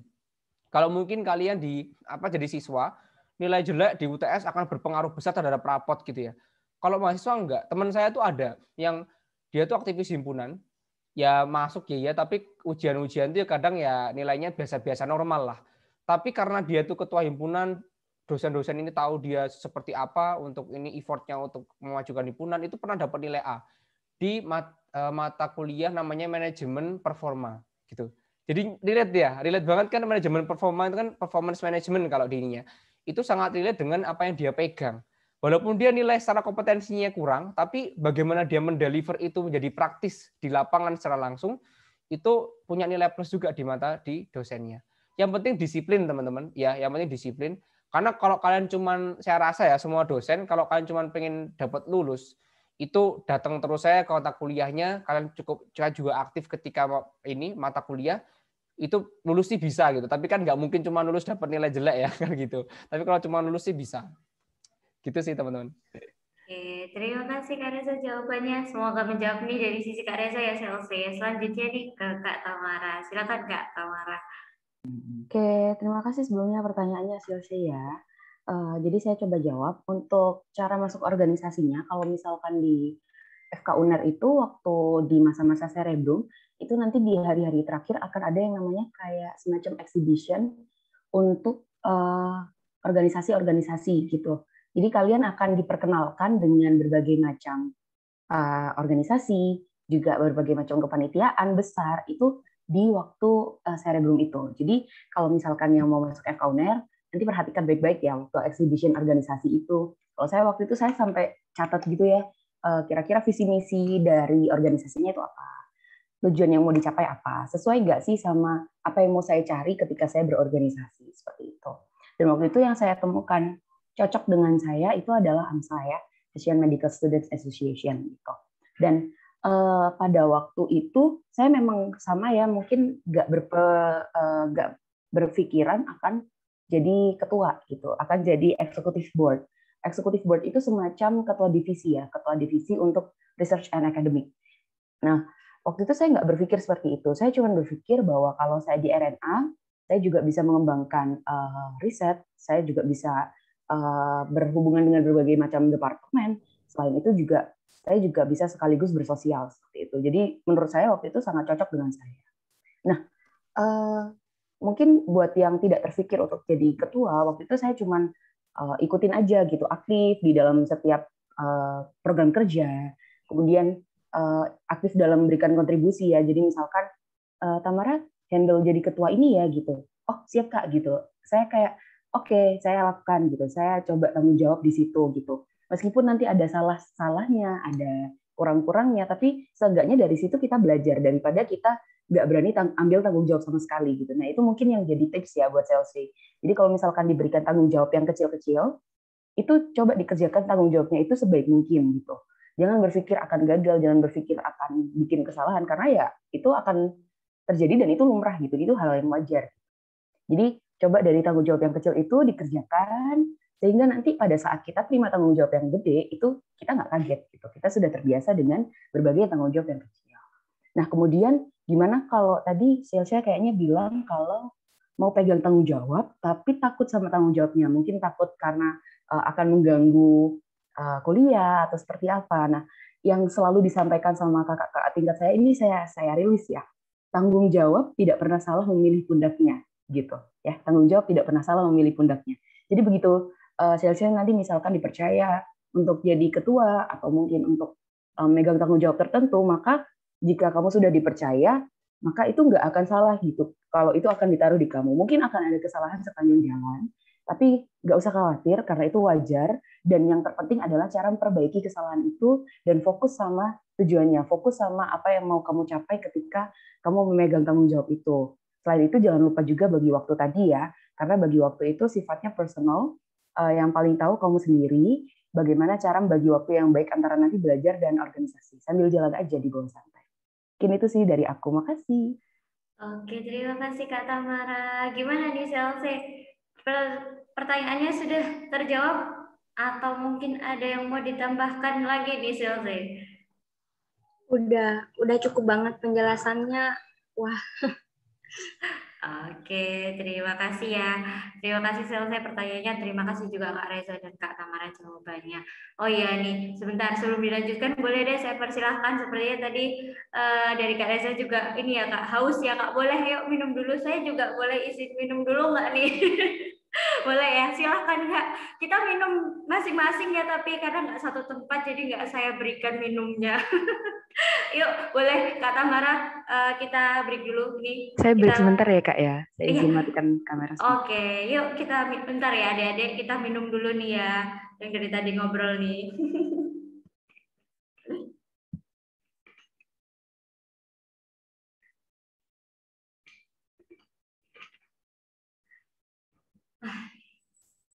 Oke, udah nih kakak, udah udah cukup nih, udah cukup minumnya. Sedikit istirahat dulu ya adik-adik. Kan kalau ada talk show talk show juga tuh kalau offline kan minum dulu ya pembicaranya, boleh ya. Kasihan nih dari tadi ngobrol nggak minum, oke? Okay? Ah ini udah mau ada pertanyaan nih yang tadi menyusun kata-kata. Mbak panggil dulu deh, Audi, Audi, muncul. Ya kak. Oh, asik. Oke, oke. Okay. Uh, udah muncul nih. Bentar ya, tapi uh, Kak Tamara sama Kak Reza ya masih minum dulu sebentar. ini pertanyaannya untuk siapa nih tapi Audi? Buat siapa ya? Terserah sih ya buat mungkin buat keduanya. Oh, buat keduanya bisa ya. Enggak enggak hanya buat Kak Tamara maksudnya untuk uh, menjurus ke kedokterannya, enggak ya? Enggak sih, pertanyaan lebih umum sih. Oh, Oke okay. lah Kak Tamara udah muncul lagi nih sudah siap. Apakah Kak Reza sudah siap juga lagi? Oh, sudah siap juga nih. Oke, okay.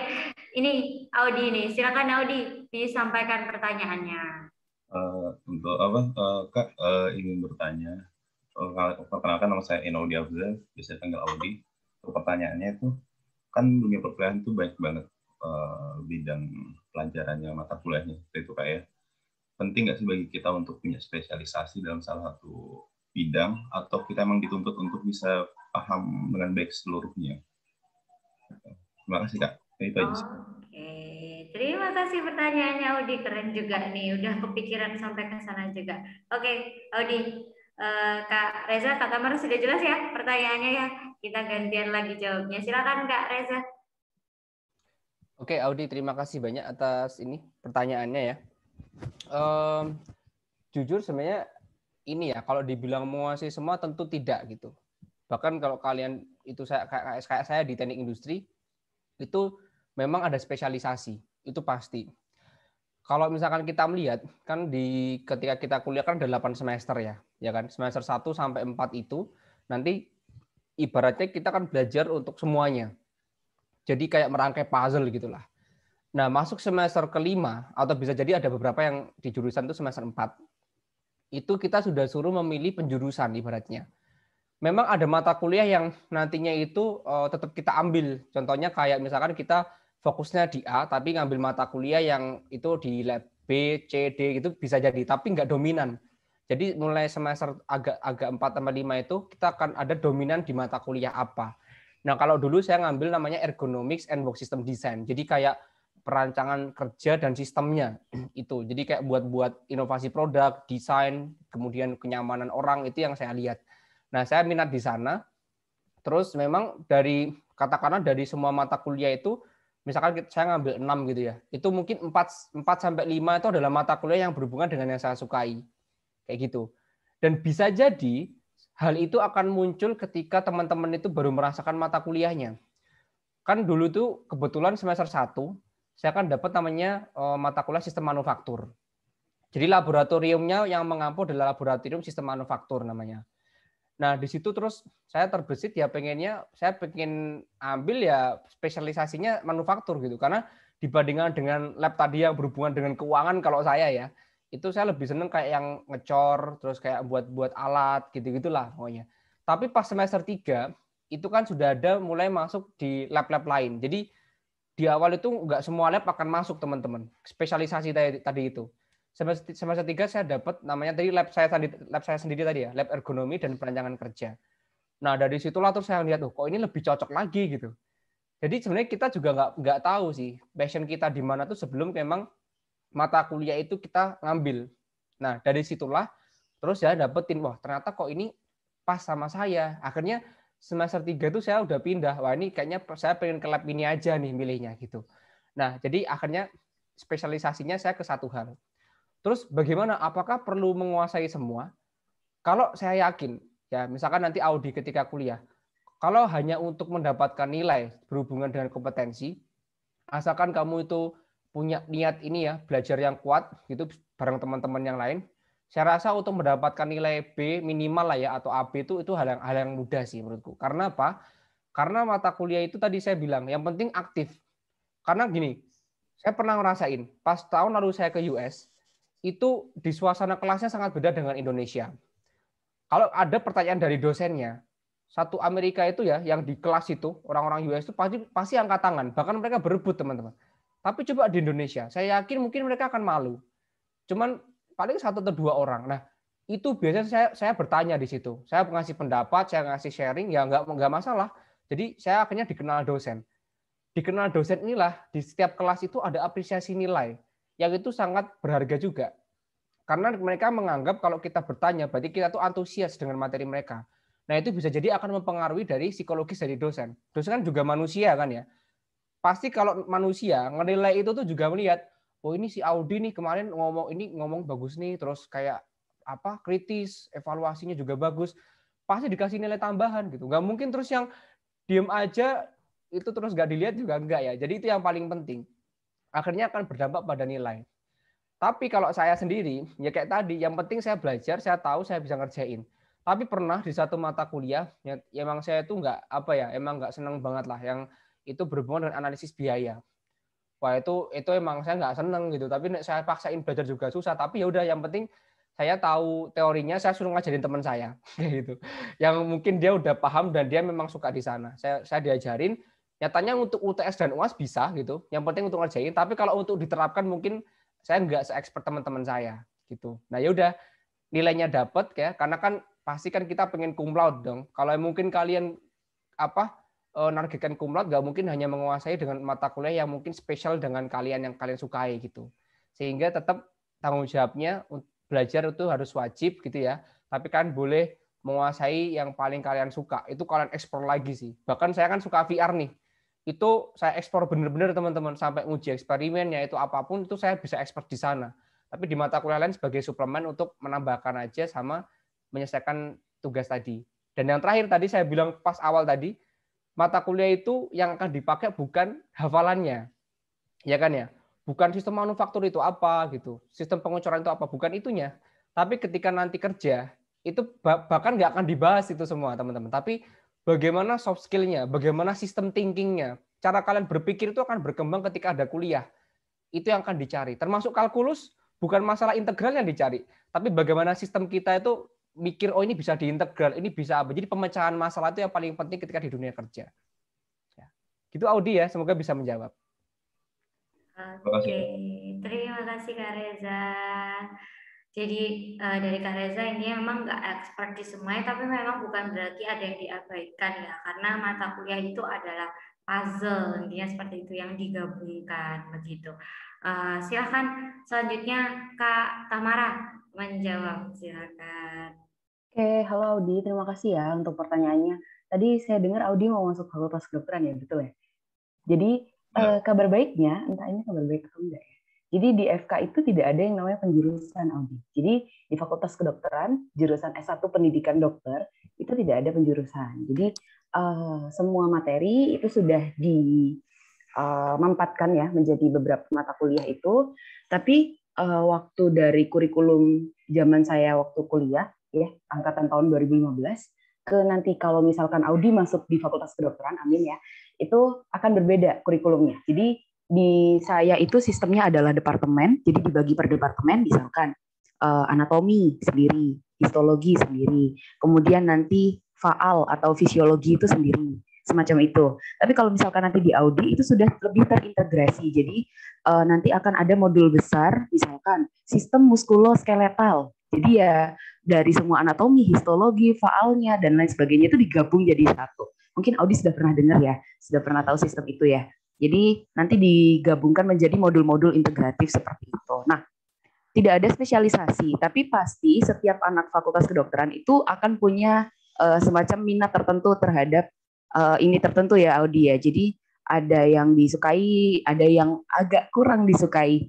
Uh, nanti nggak harus bisa semua, nggak harus uh, menguasai semua, tapi setidak-tidaknya itu tahu uh, dasar-dasarnya, tahu uh, cara kerangka pikirnya seperti apa, tahu kontennya seperti apa. Jadi setidaknya waktu nanti uh, menghadapi pasien dengan uh, se yang sesuai dengan sistem tadi, setidaknya Audi bisa gitu. Dan nanti pentingnya untuk bisa semua, untuk setidaknya tahu dasar-dasarnya itu adalah juga untuk ujian kompetensi ya. Seperti yang lagi saya siapkan sekarang itu baru kerasa gitu. Kayak uh, apa-apa yang kemarin-kemarin kita pelajarin yang kayaknya aduh ini agak kurang suka skip aja skip aja gitu ya. Nah nanti ternyata waktu ujian kompetensi dokter itu akan uh, dipertanyakan gitu ya akan jadi soal gitu. Nah itu juga pentingnya meskipun nanti ada yang nggak suka ada yang mungkin kurang bisa tapi penting juga untuk tetap tahu gitu. Setidaknya tahu dan uh, bagaimana caranya yaitu pentingnya studi badi atau tutor sebaya tadi ya. Jadi akan sering kali di FK itu kita bikin semacam grup belajar dan nanti kita belajar bareng saling sharing. Semacam itu sih Audi. Jadi nanti eh, nggak uh, harus bisa semua uh, tapi juga jangan sampai karena belajar satu spesialisasi tertentu satu sistem tertentu akhirnya yang lainnya nggak bisa karena kalau kamu ketemu pasien kamu nggak bisa milih bu ibu sakit ini aja gitu karena saya bisanya sakit ini bu yang lain saya nggak bisa gitu itu kan nggak bisa seperti itu jadi memang harus uh, lebih uh, terbuka sama sistem yang lain. Seperti itu sih mungkin Kak. Cukup menjawab ya Audi? Cukup Kak. Terima kasih banyak Kak. Oke, terima kasih banyak Pak Reza, Kak Tamara jawabannya. Audi juga terima kasih pertanyaannya. Ini tadi di tengah-tengah menjawab ada yang raise hand nih. Salsabila. Di mana Salsabila? Apakah Salsabila ada pertanyaan? Halo? Salsa bila, Salsa? Wah, Salsa nggak muncul ini habis raise hand. Wah, Salsa. Oke, nggak ada pertanyaan nih berarti Salsa. Kepencet itu kak, kepencet. Oke, kepencet. Oke, nggak apa-apa. Berarti nggak ada pertanyaan ya. Oke. Gak kerasa nih sudah 9.27, 30 menit lagi. Nggak apa-apa, Mbak persilahkan dulu.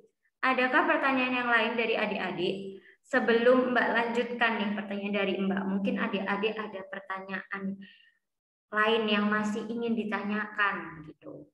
Silahkan. Selsi, Mbak. Oke, Selsi lagi. Silahkan, silahkan. Boleh, boleh. Silahkan, Selsi. Pertanyaan disampaikan.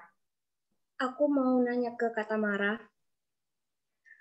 Kak, kalau misalnya kita maba kedokteran, kita harus wajib beli semua buku-bukunya langsung gitu, ya buku anatomi, buku kedokteran atau uh, bisa nyari di e-book atau gimana gitu, nggak diwajibin buat beli punya sendiri.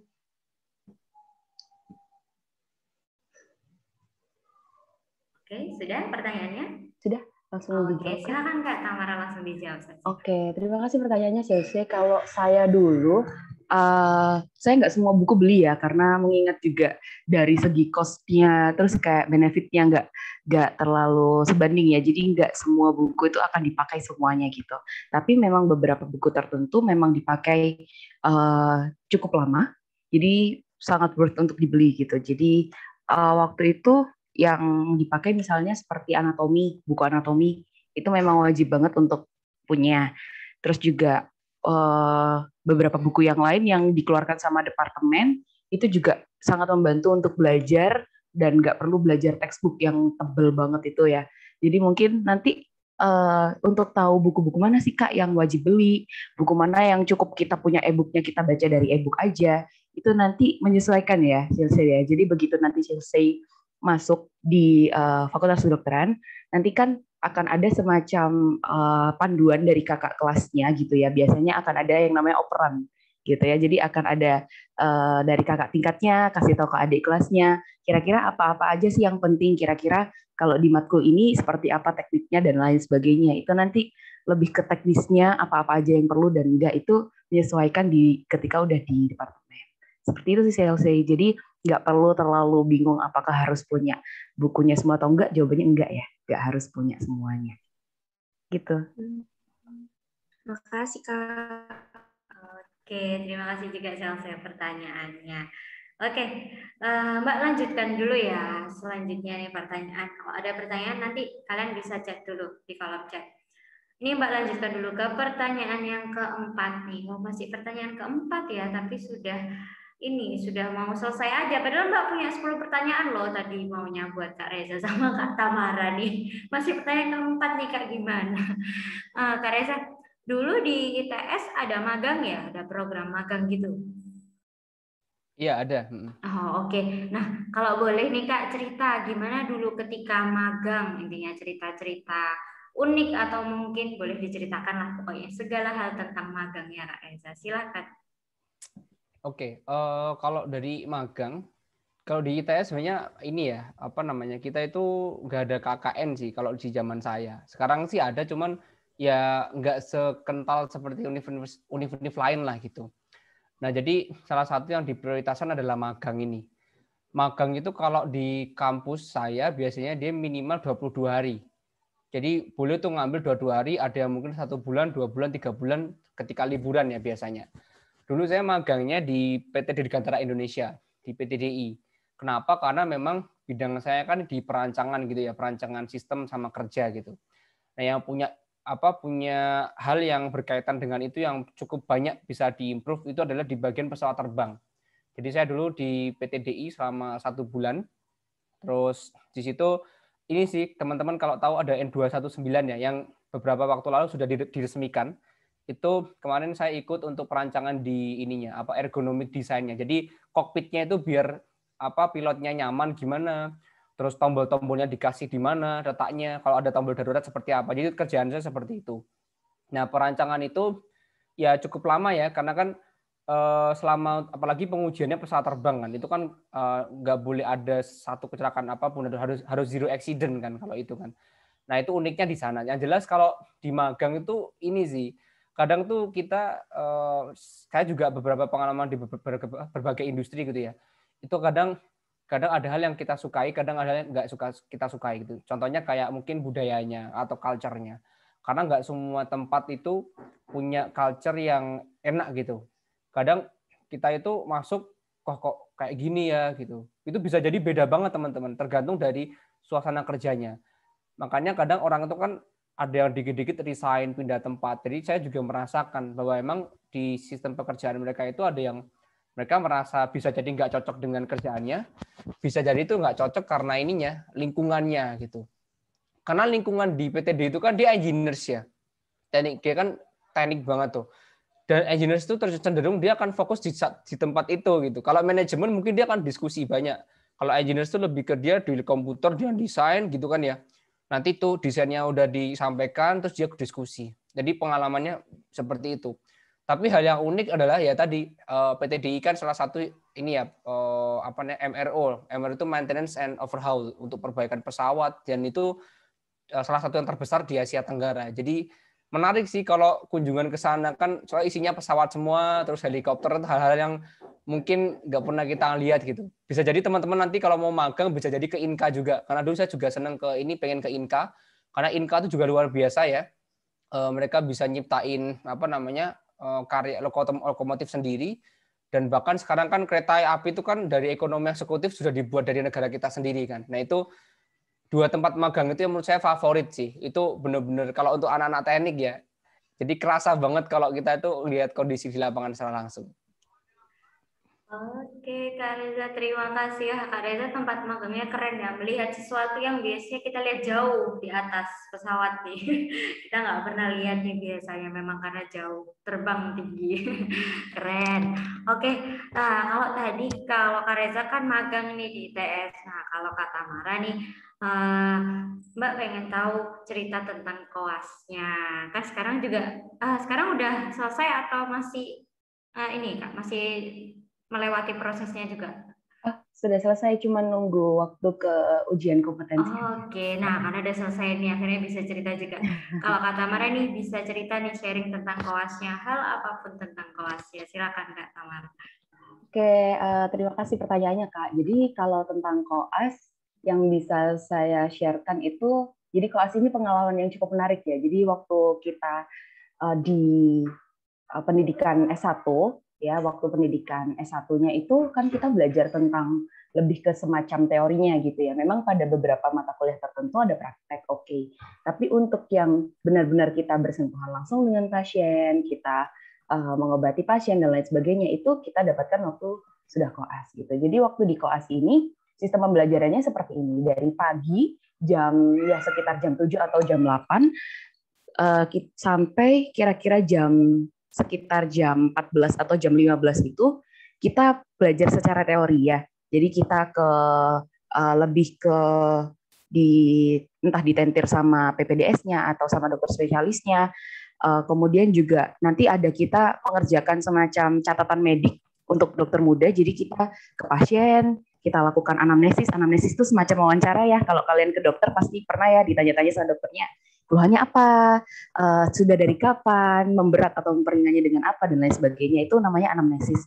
Jadi kita melakukan anamnesis sendiri, kemudian nanti kita lakukan pemeriksaan fisik, ya sampai nanti kita menentukan uh, planning, planning diagnosisnya apa, apa yang akan dilakukan, misalkan apakah akan di USG atau apakah akan di CT scan, kemudian planning terapinya seperti apa. Itu kita bikin di catatan medis tersendiri kita memang tidak diperizinkan untuk mengobati pasien secara langsung. Jadi apa yang kita tentukan itu nggak boleh langsung diaplikasikan ke pasien. Tapi kita uh, semacam konsul dulu, tanya dulu ke uh, yang lagi pendidikan spesialis atau PPDS gitu ya. Kita sebutnya istilahnya PPDS. Nah, kita tanya ke beliau-beliaunya, kemudian nanti kalau misalkan disetujui atau sama, nanti kita boleh diizinkan untuk uh, memberikan terapinya seperti itu. Nah, Kemudian nanti setelah dari jam 3 sampai besok paginya lagi, kalau misalkan ada jadwal jaga, jadwal jaga malam, itu kita jaga malam. Jadi dari jam 3 sampai besok pagi. Jadi kalian bisa bayangin ya teman-teman ya, dari jam 7 sampai jam 3, terus nanti nggak pakai putus, kita cuma ganti baju jaga aja, ganti baju jaga malam yang warnanya hijau-hijau. Kalau kalian pernah lihat di FK, atau di dokter Stomo pernah lihat pakai baju hijau-hijau, itu kami ya, itu kami para dokter muda gitu. Nah, itu sampai besok paginya jaganya gitu. Jadi kebayang uh, betapa kalau misal secara manusia ya, betapa capeknya, betapa uh, sebenarnya kita pingin banget istirahat gitu ya. Kasarannya kayak pengen duduk aja itu, duduk aja itu udah bersyukur banget gitu. Kayak secapek itu, capek banget. Kita kayak uh, dari satu bed ke bed lainnya kita ngelakuin ngelakuin treatment, belum lagi nanti ada jadwal untuk kita TTV atau cek tanda-tanda vital pasien, terus juga nanti jadwal masukin obat, jadwal injeksi dan lain sebagainya. Dan itu emang harus on time banget. Jadi kayak benar-benar kita tuh dapat kesempatan uh, duduk atau mungkin istirahat sebentar itu kayak satu jam dua jam untuk satu malam itu gitu. Dan itu satu minggu kalau misal departemennya memang banyak pasiennya bisa kayak sampai uh, satu minggu itu bisa dapat kayak dua atau tiga kali jaga. Jadi yang beruntun seperti itu ya gitu ya. Bahkan ada istilahnya tuh uh, ding dong atau ding ding gitu ya. Itu jadi kayak misal kita habis jaga hari ini habis jaga, habis tuh pulangnya kan sampai sore istirahat besoknya udah jaga lagi gitu jadi itu istilahnya capek banget gitu ya ding, ding dong itulah itu uh, pengalamannya capek iya tapi banyak banget yang kalian bisa dapatkan waktu kalian koas gitu. Kalau kalian sudah merasakan waktu jadi se seperti saya itu, uh, nanti itu uh, kalian akan oh ya jadi kalau ini for your information aja, koas itu nggak nggak ini ya, kita masih bayar UKT kayak gitu. Jadi nggak ada istilahnya kayak diberikan uang magang atau apa itu nggak ada. Bahkan kita masih bayar UKT. Jadi benar-benar kita itu merasa kayak kita tuh mengabdi dan mengorban berkorban seperti itu ya. Dan yang menarik adalah waktu kalian mengobati pasien sepenuh hati, waktu kalian capek, tahan ngantuk, kalian kalian berusaha memberikan pengobatan terbaik atau kadang saat udah malam capek datang pasien keluarganya ngomel-ngomel ke kalian atau bahkan marahin kalian itu akan sangat-sangat terbayar uh, dengan kalian itu. Misal ada pasien yang bilang ke kalian terima kasih ya dok. Terima kasih ya bu. Terima kasih ya mbak. Itu kayak uh, segala rasa capek tuh rasanya hilang gitu. Jadi itu ya mungkin yang lebih dirasakan karena memang uh, waktu kita koas itu kita benar-benar rasanya kayak kita jalan mandiri dan uh, segala rasa apa ya capek dan lain sebagainya itu ada di situ gitu. Jadi begitu kalian terima rasa terima kasih dari pasien kalian itu semua rasanya kayak terbayarkan dan memang uh, perasaan itu bisa nggak uh, bisa terlalu kita rasakan karena ada pandemi ini ya. Jadi waktu pandemi ini dokter mudanya harus dirumahkan. Jadi kita secara daring ketemu pasien juga pasien simulasi dan cuma dikasih waktu dua minggu untuk uh, tahun keduanya gitu. Jadi memang beberapa pengalaman klinis seperti itu hilang. Jadi untuk kalian nanti pesanku nikmatilah masa-masa koas ya apa pun yang kalian rasakan, gesekan apa pun yang mungkin terjadi selama kalian koas, tolong dirasakan dengan baik karena pengalaman klinis jadi koas itu nggak datang dua kali dan itu cuma dua tahun. Mungkin itu sih kak yang bisa saya sharingkan.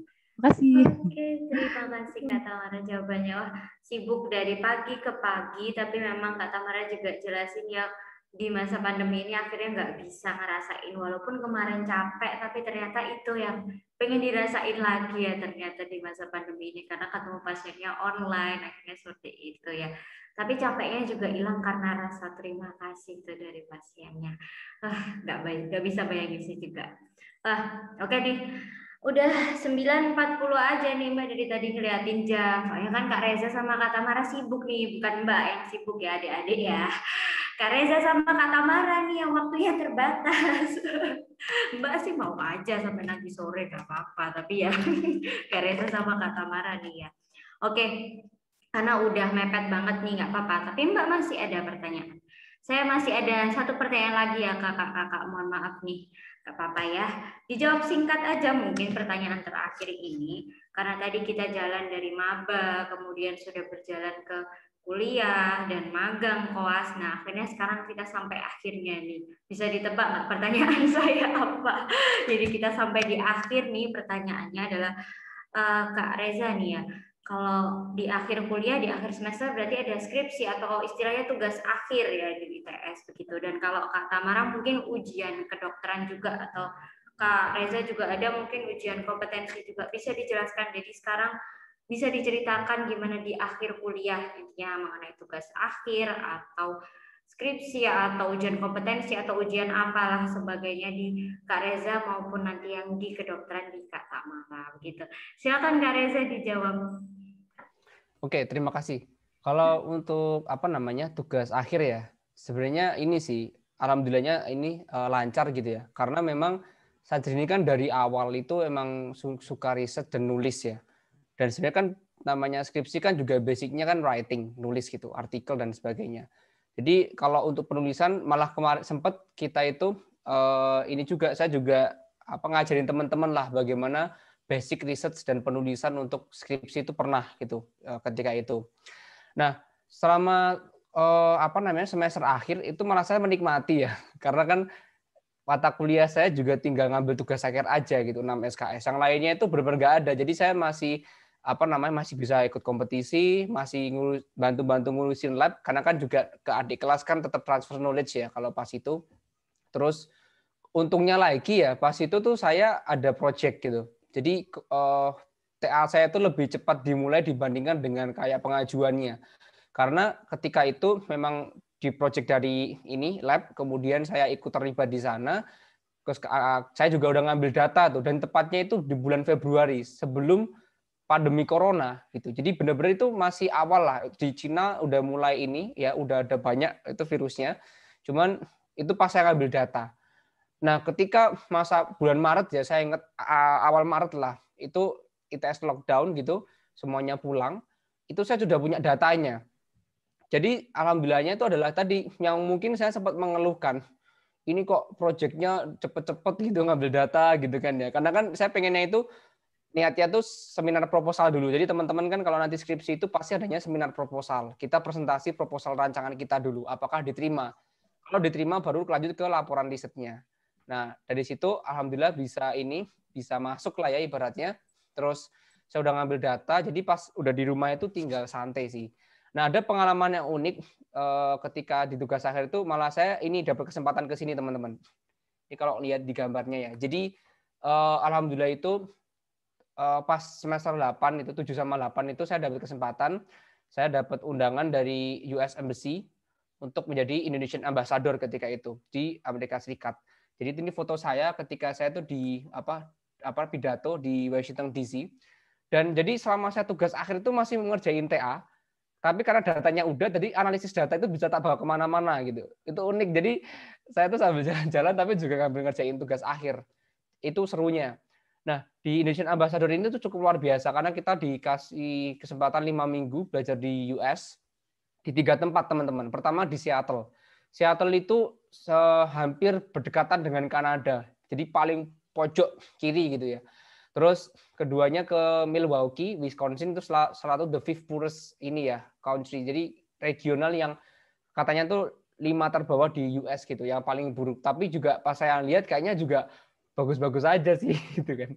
Terus baru ke DC ya. DC ini pusatnya. Itu semua delegasi di seluruh dunia itu ada. Indonesia dipilih empat teman-teman. Jadi seleksi itu saya dapat terus alhamdulillah saya mewakili di dua di wilayah timur. Jadi ITS sudah berdua. Nah, yang dua lainnya itu dari universitas dari UI sama UTERA, eh, ITERA ya dari Lampung. Nah, itu sangat luar biasa karena eh, di program ini itu apa namanya? saya juga sangat leluasa, ya sibuk tapi nggak terlalu banget ya. Bahkan saya juga pas itu prepare untuk seminar proposal, saya masih ingat betul itu juga ketika uh, di sini jadi ambasador gitulah. Nah, jadi pas enaknya lagi teman-teman, mungkin nanti kalian mahasiswa itu bisa ikut ini, itu dapat kesempatan tuh, kayak misalkan jalan-jalan ke ini ke NASA. Jadi saya pernah ke NASA itu gara-gara jadi ini ambasador ini dan itu memang programnya full gratis dari pemerintah Amerika Serikat ya, pemerintah luar negerinya mereka, itu dibayar full oleh mereka. Kita tinggal berangkat lah kayak gitu. Terus ya yang penting yang penting kalian menerima materi dengan baik gitu dan lain sebagainya. Nah, terus ke Capital juga yang di itu di 2012 gitu ya. Kalau misalkan eh, 2012 kan filmnya Kiamat terus dia gelundung gitu ya, kan rusak. Itu ada di sini saya juga pernah. Nah, ini uniknya lagi apa pun yang pernah saya pelajari di masa kuliah gitu ya gara-gara saya itu penelitian jadi saya dapat undangan ini gara-gara saya punya karya karya yang berhubungan dengan teknologi inovasi yang 4.0 teman-teman. Jadi saya dapat undangan buat belajar di Amerika Serikat. Itu eh, selama saya kuliah saya dapat materi terkait dengan Microsoft. Ya bagaimana sih industri di Microsoft itu? Saya rasa semua tahu lah ya di semua laptop kalian ada Microsoft-nya gitu kan. Nah terus habis itu ke sini. Nah kan nyambung kan. Saya tadi magangnya di PT DI, ternyata kesampaian ke Boeing, salah satu perusahaan yang paling besar di dunia untuk pesawat komersial. Jadi memang sangat luar biasa ya kalau di apa diceritakan bagaimana pas saya itu semester 8 malah justru saya menikmati. saya malah bisa bisnis bisnis saya itu malah jalan ketika itu selama udah pernah berhenti jadi saya Kesehatan Indonesia kebetulan juga SHI nanti akan kerjasama dengan AMSA juga ya AMSA Indonesia itu di apa di bulan ini nanti terus habis itu eh, tadi ngerjainnya juga tambah seneng karena bisa jalan-jalan dan apa namanya banyak pengalaman sih. Karena ngerjain tugas akhir itu kalau ada yang bilang sorry ya sibuk ngerjain TA saya tuh mikir yang yang dia sibukkan tuh apa gitu loh. Karena pengambilan data mungkin satu sampai dua bulan udah cukup gitu. Penulisan juga nanti masih bisa nyicil nggak nggak harus tiap hari ya. Yang penting kita konsisten. Jadi itu sih pengalaman yang semester 8 dan menurut saya malah justru berkesan di akhir saya kuliah sih. Dan saya menikmati kayak gitu. Oke, Terima kasih lah. Jadi sembari mengerjakan TA malah tadi bisa jalan-jalan ya karena datanya sudah dibawa keren-keren. Udah nggak bisa ngomong sih Mbak. Udah tadi jalan-jalan ke mana aja itu jauh banyak banget. Oke, Kak Tamara silakan nih kalau dari Kak Tamara diceritakan nih ujian-ujian apa aja nih di kedokteran. Tes, halo. Oke, makasih pertanyaannya Kak. Jadi uh, agak berkebalikan ya dengan Kak Reza yang masa-masa skripsinya sangat-sangat menarik dan luar biasa, teman-teman.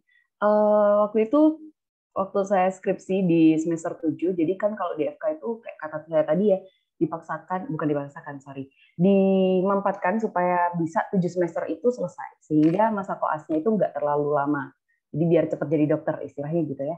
Tapi pada waktu itu, uh, saya cukup dapat banyak sekali ujian ya waktu skripsi itu banyak sekali ujian hidup eh, selama mengerjakan skripsi. Nah, saya itu waktu itu sudah mulai bikin proposal sejak saya semester 4. Jadi semester 4 itu udah ada proposal skripsi.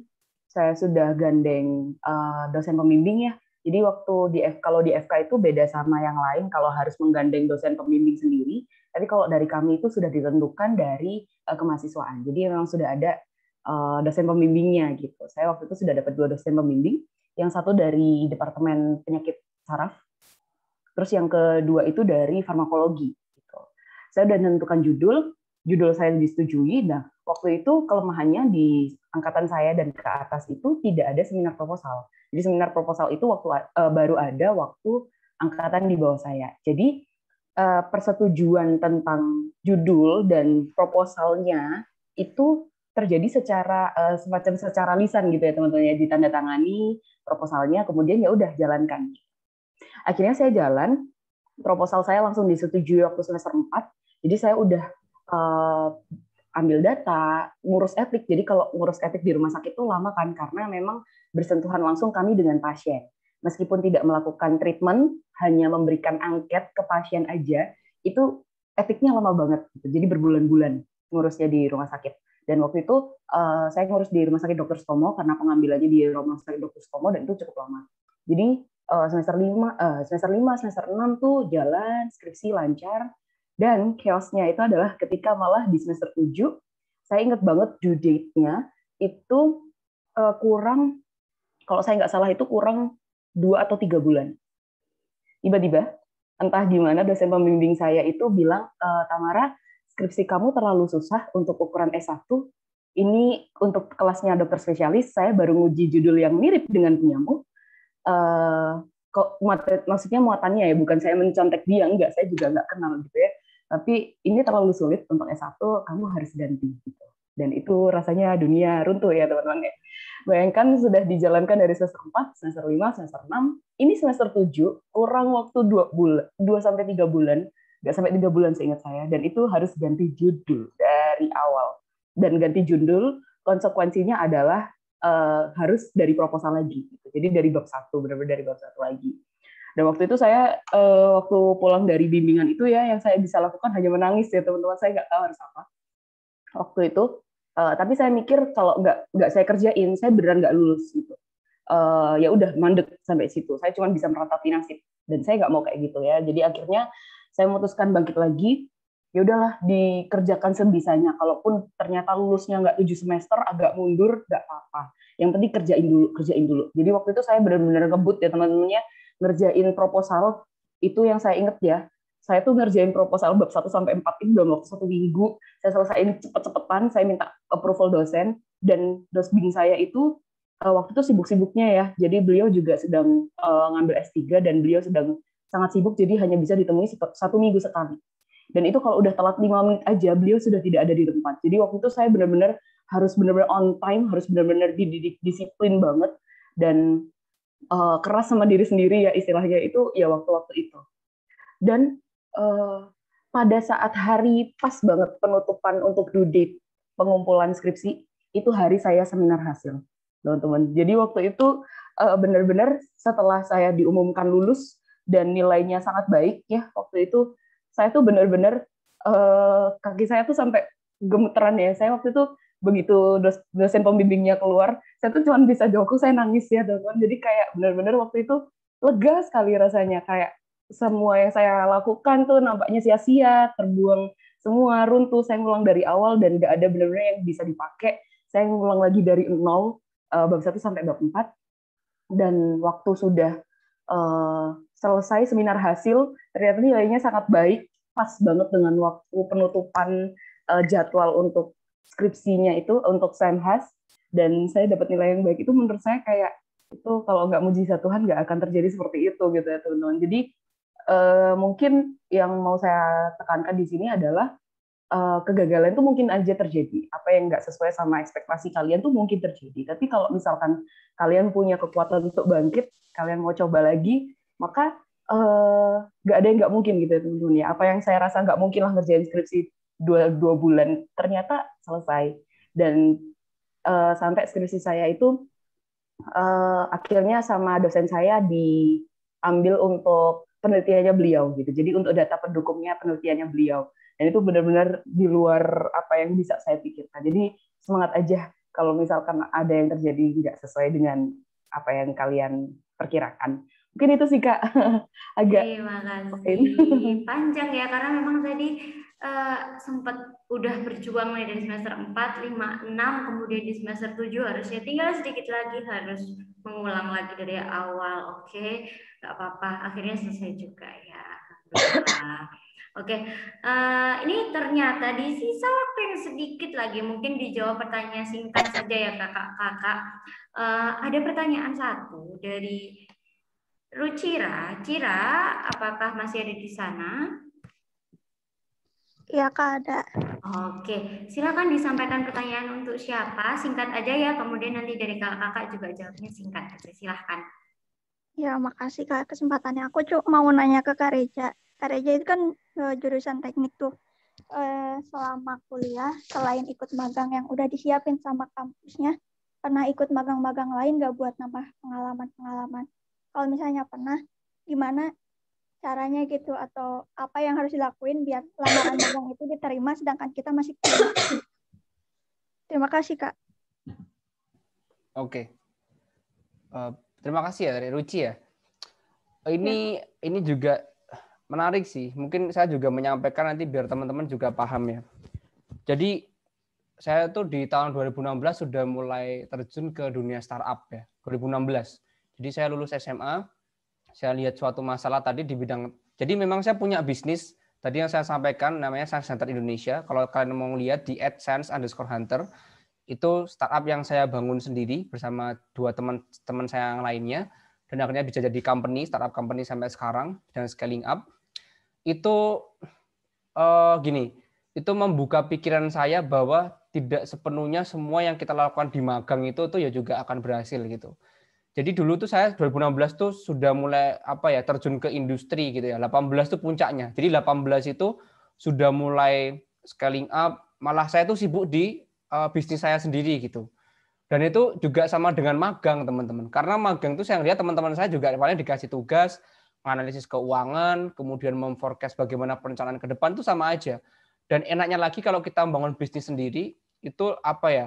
Suasananya itu benar-benar kayak apa namanya? Kita bebas. Karena startup itu kan kita nggak nggak nggak fokus pada satu hal aja gitu. Dan kita bebas mau ngapain aja. Nah, jadi akhirnya saya magang cuma sekali di dalam ini ketika selama saya kuliah karena saya sudah merasa sudah mendapatkan apa yang saya cari ketika kuliah magang itu memang wajib ya, namanya kerja praktek kalau di kampus saya. Tapi saya ngelihat teman-teman saya, nanti bisa jadi kalian ini pertimbangan juga. Nggak sepenuhnya magang itu benar, teman-teman. Ada magang yang kita ikut malah disuruh bayar. Kan bisa bisa ini enggak? Padahal itu sebenarnya akal-akalan perusahaan untuk mencari profit. Itu hati-hati. Jadi ini saya aware ke kalian juga gitu karena saya uh, pernah melihat itu. Kedua, ini masa pandemi. Kalau teman-teman sadar, magang yang ini magang yang non di kampus ya. Kalau mungkin kerja praktek emang nggak dibayar nggak apa-apa karena untuk mencukupi kebutuhan kalian kuliah gitu kan. Kan kalau nggak kuliah nggak lulus dong kerja praktek gitu kan. Tapi yang di luar ini di mana kalian mengambil keputusan untuk melakukan magang sebelum kerja. Ini banyak sekali teman-teman saya yang magang dan mungkin saya lihat gajinya menurut saya tidak masuk akal. Di dalam mereka itu bekerja, bekerja selama satu bulan itu pun liburnya juga cuma satu minggu dan dia full full time gitu walaupun online itu gajinya nggak masuk gitu. Itu adalah salah satu akal-akalan perusahaan di mana kan ini masa pandemi teman-teman. Kan harus paham ini masa pandemi. Jadi ya ini. Akhirnya kalian tahu sendiri lah ya perusahaan itu nggak mau merekrut orang ya kan? Perusahaan pekerjanya yang mungkin gajinya mahal-mahal di cut semuanya. Akhirnya dia mencari orang-orang yang mungkin fresh graduate yang bisa dibayar murah. Itu yang terjadi sekarang. Jadi milih magang itu harus pintar juga gitu. Kalau mau magangnya benar silakan pilih magang-magang yang BUMN kayak PTDI, mungkin kayak Garuda Indonesia, GMF gitu pasti perusahaan-perusahaan besar lah. Karena dia pasti memberikan fee yang yang apa bagus gitu.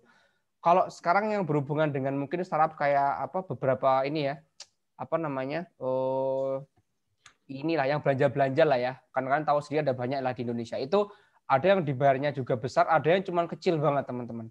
Jadi harus paham lah jangan sampai kita itu sudah lulus nantinya udah mungkin kalian sedang men, apa uh, kuliah tapi kalian itu malah dibayar cukup murah. Itu kasihan tapi beda lagi ya ada juga teman saya mikirnya saya nggak mikirin uangnya kok saya mikir pengalamannya. It's okay gitu. Tapi ketika nanti kalian lulus saya titip jadi jangan sampai kalian itu uh, kayak dimanfaatkan gitu loh. Kasihan juga saya lihat teman-teman saya ini kasihan banget gitu. Makanya itu yang perlu kasih apa saya kasih tahu. Terus ini mungkin perjalanan saya dikit ya. Jadi dulu 2016 eh, saya buat sendiri namanya RRC, kemudian SHI 2018 sampai akhirnya 2020 jadi PT sendiri. Itu seru sih sampai sekarang pun saya itu punya tim jumlahnya 46, semuanya milenial dan hampir semua kampus ada teman-teman. Nah itu kita saling bareng-bareng ya, uh, ada mentor buat pembelajaran research. Nah terus puncaknya sendiri kalau teman-teman tahu itu di sini. Sebentar. Nah yang ini sih saya ini agak error sih. Ya udah. Jadi saya kemarin itu yang membuat saya lebih semangat lagi adalah tahun awal tahun ya. Awal tahun itu saya ikut namanya Indonesian Young Business Leader Award. Jadi kayak suatu kompetisi penghargaan bisnis ya yang diberikan kepada semua pemimpin dan CEO bisnis di seluruh Indonesia yang punya usianya di bawah 40 tahun. Dan ternyata kemarin itu ketika itu saya dapat dapat first winner juara satu dan itu mengalahkan berbagai perusahaan lainnya. Jadi itu lebih dari sekedar magang kalau saya karena sebagai apa CEO itu kan kita mengatur semuanya. Malah nanti siapa tahu nanti Rucira malah ini juga selama kuliah bisa membuat sebuah bisnis sendiri gitu kan. Itu itu nilainya sangat banyak loh dibandingkan dengan hanya magang. Tapi kalau emang nanti ada minat untuk magang, nanti silakan. Itu nggak ada salahnya selama itu terstruktur dan benar gitu. Karena saya takutnya justru adik-adik tadi dimanfaatkan. Kayak gitu sih uh, dari jawaban dari saya. Terima kasih Kak Reza. Makasih, Jawabannya Kak. lengkap sekali. Semoga terjawab ya, Cira untuk pertanyaannya. Oke. Okay. sebentar, maaf. Iya, apa nih? Nggak apa-apa. Wah, ada apa nih? Ini sudah mepet sekali soalnya. Boleh boleh singkat aja ya Kak Reza. Saya minta tolong juga singkat aja dijawabnya. Iya, nggak apa, silakan. Silakan. Mungkin kalau misalnya pengen join di uh, startup Kak Reza itu gimana Kak? Oke. Kalau ini ya, kalau nanti mau belajar ini, jadi kita ada komunitas, Rucia. Sekarang udah ada 893 dan kita ada upgrading setiap seminggu sekali itu gratis. Nah, syaratnya cuma beli kelas kami di SAI. Nanti coba cek ya. Ini saya cek aja di apa diketik di apa namanya kolom chat. Kalian coba aja klik di situ science-center.id. Nanti di sana ada banyak pilihan kelas teman-teman. Kalian mau belajar KTI atau SAI. Tapi kalau menurut saya kalau kalian mungkin pengen mengenal dunia kuliah kayak tulisan akademik dan lain sebagainya, ambil aja yang KTI. Karena KTI itu akan nanti kan beli sekali untuk selamanya kan. Itu mau buat kalian skripsi, nanti mau buat kalian ngerjain tugas pasti kerangkanya adalah karya tulis ilmiah, saya jamin. nanti kalau sudah nanti si apa Rucira udah lulus, nanti otomatis akan tergabung di komunitas kami. Itu bisa join selamanya. Kadang saya juga ngisi upgrading di sana sih setiap minggu sekali ketika weekend. Jadi silakan kalau mau join nggak masalah. Kalau nanti Rucira punya prestasi di bidang riset, nanti bisa jadi uh, ini masuk ke kami juga sebagai mentor profesional karena kami juga digaji gitu sih di SAI gitu. Oke kak, terima kasih. Ya sama-sama. Oke, terima kasih Sira pertanyaannya. Kak Reza juga sudah ya bisa cek di kolom chat ya teman-teman semua silakan kalau mau cari itu di situ ada nanti ada apa ya namanya mentoring mingguan eh mentoring mingguan. Oke nih sudah jam 10 lebih dua kita lewat dua menit. Wah ini kalau ada wasitnya kita udah disemprit nih gitu ya. Udah disemprit nih kalau ada wasitnya tapi nggak apa-apa ya mohon maaf kakak-kakak berdua kita lewat sedikit waktunya dari yang sudah ditentukan. Nah, ini sebelumnya saya mau sampaikan dulu, eh, adik-adik bisa bersiap ya. Setelah ini akan uh, on kamera semua, harus on kamera semua. Kita akan ada sesi foto bersama. Jadi silahkan adik-adik persiapan yang dari tadi belum on kamera, silahkan persiapan sekarang. Nah, ini dikala adik-adik persiapan, nanti harus on kamera semua. Saya persilahkan untuk Kak Reza dan Kak Tamara untuk closing statement. Jadi uh, kalimat penutup aja sedikit untuk penyemangat adik-adik atau mungkin apa yang ingin disampaikan dari Kak Reza dan Kak Tamara untuk adik-adik yang ada di sini. Silakan Kak Reza dulu. Oke, kalau saya singkat aja teman-teman. Uh, nanti kalau kalian ini kan sedang berjuang gitu ya. Nah, uh, tetap semangat buat ini sampai nanti dapat apa namanya kampus yang terbaik untuk kalian. Jadi jadi nggak ada semuanya itu kebetulan, tapi kan juga harus usaha untuk mengubah, nasib kalian. Dan tadi yang terpenting dari saya itu bukan masalah kampusnya gitu. Yang yang menentukan kan bisa sukses kan bisa berkembang itu adalah kalian sendiri. Kalian sekarang sekarang merdeka belajar kan, kan bisa bertemu dengan semua universitas di Indonesia bahkan online pun juga bisa. Jadi nanti masuk kampus mana pun asalkan kalian punya motivasi yang lebih kalian punya interaksi dan link yang banyak dari seluruh kampus itu akan menjadi kunci sukses kalian sih dan itu sudah saya buktikan nanti silakan waktunya kalian membuktikan sendiri Oke, terima kasih Kak Reza. Selanjutnya Kak Tamara silahkan. Oke, kalau dari saya mungkin uh, merilis dari yang tadi ya, tanggung jawab tidak pernah salah memilih pundaknya teman-teman. Jadi apa pun yang kalian kerjakan sekarang, dari tanggung jawab yang kecil ke yang besar kalian kerjakan sebaik mungkin sehingga uh, kalian juga dapat buah dari tanggung jawab yang kalian kerjakan. Mungkin itu sih kak. Terima kasih. Oke terima kasih kak Tamara. Oh keren keren nih jadi dari kak Reza tadi intinya eh, bukan tempatnya yang menentukan kalian nanti, tapi ini yang menentukan juga kalian sendiri, adik-adik. Jadi kalian mau jadi apa itu kalian yang menentukan, bukan kampusnya, bukan ITS, bukan UNER tapi memang ya mengusahakan yang terbaik tetap harus gitu ya. Bukan berarti kita oh ya udah deh nggak apa-apa kan gimana aja. Bukan seperti itu juga. Oke ya tetap semangat. Kemudian kalau kata Mara ini ya ketika nanti kalian melewati masa-masa berat ketika kuliah bahwa jangan langsung menyerah karena memang intinya beban itu udah punya pundaknya sendiri-sendiri. Nggak salah dia milih pundak. Kalau kalian yang dikasih berarti kalian bisa kayak gitu. Oke udah siap untuk on kamera semua? Yuk kita on kan kamera dulu yuk sekarang Yuk kita onkan kamera sambil ditunggu nih. Yuk, yuk, yuk, yuk semuanya. Audi, Audi ke mana? Dani, Salsabila, Adika, Cira, Nabila, Irma, ada Evelyn juga di sini, ada Prinsky, wah rame ternyata memang dari tadi nggak on kamera nih ya adik-adik. Giovanna, Nilam, yuk, yuk on kamera semua yuk, kita foto bersama nih sama Kak Reza sama Kak Tamara yang keren-keren. Walaupun kita nggak bisa ketemu offline nih nggak bisa foto bareng nggak bisa muncul nih kita sengaja punya foto bareng di zoom loh teman-teman. Ayo. Ya kan ya? Oke. Ya keren keren ayo Akma nih. Akma yang belum nyalakan kamera. Ayo masih ditunggu ya. Ayo Nilam. Kemudian ada Andika juga ada Wildan. Yuk yuk yuk.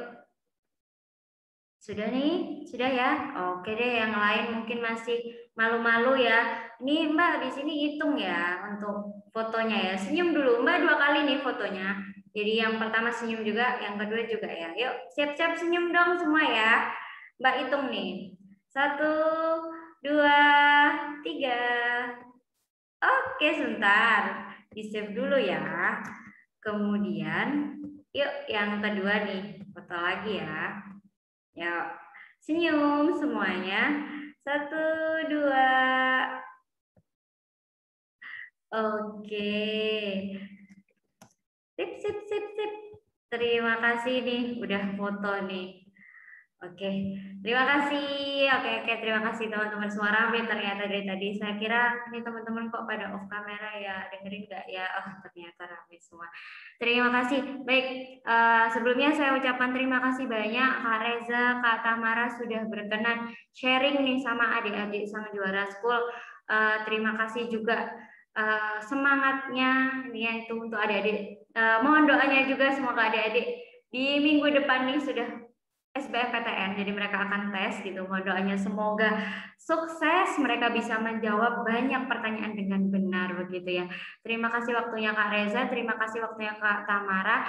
Saya mohon maaf, saya mewakili adik-adik juga, mewakili sang juara apabila ada salah-salah kata, ada kurang-kurangnya. Uh, saya mohon maaf. Semoga kita bisa bertemu lagi di kesempatan yang lain kalau bisa offline ya kita ketemu nanti mungkin. Semoga pandemi segera bisa berakhir jadi kita bisa ketemu offline. Terima kasih banyak. Oh saya nggak bisa ngomong lagi selain terima kasih karena memang keren-keren banget sharingnya tadi. Uh, saya ucapkan terima kasih. Boleh live dari Zoom. Kita ketemu lagi mungkin di lain kesempatan. Yuk ucapin terima kasih. Open mic semuanya ke Kak Tamara dan Kak Reza. Yuk. Thank you Kak Terima kasih, Kak. Terima kasih, Kak. Terima kasih. Terima kasih semuanya. Oke, terima kasih juga ya adik-adik. Kita ketemu lagi besok. Uh, kita ketemu lagi besok Senin. Oh ya, adik-adik siang ini try out ya. Jangan lupa nanti diumumkan di grup masing-masing. Stay di grup masing-masing. Kita ketemu lagi. Semangat belajarnya mulai besok Senin lagi. Oke, terima kasih adik-adik yang udah menyempatkan hadir. Mbak mohon maaf kalau ada salah-salah kata. Selamat siang. Wassalamualaikum warahmatullahi wabarakatuh. Waalaikumsalam warahmatullahi wabarakatuh.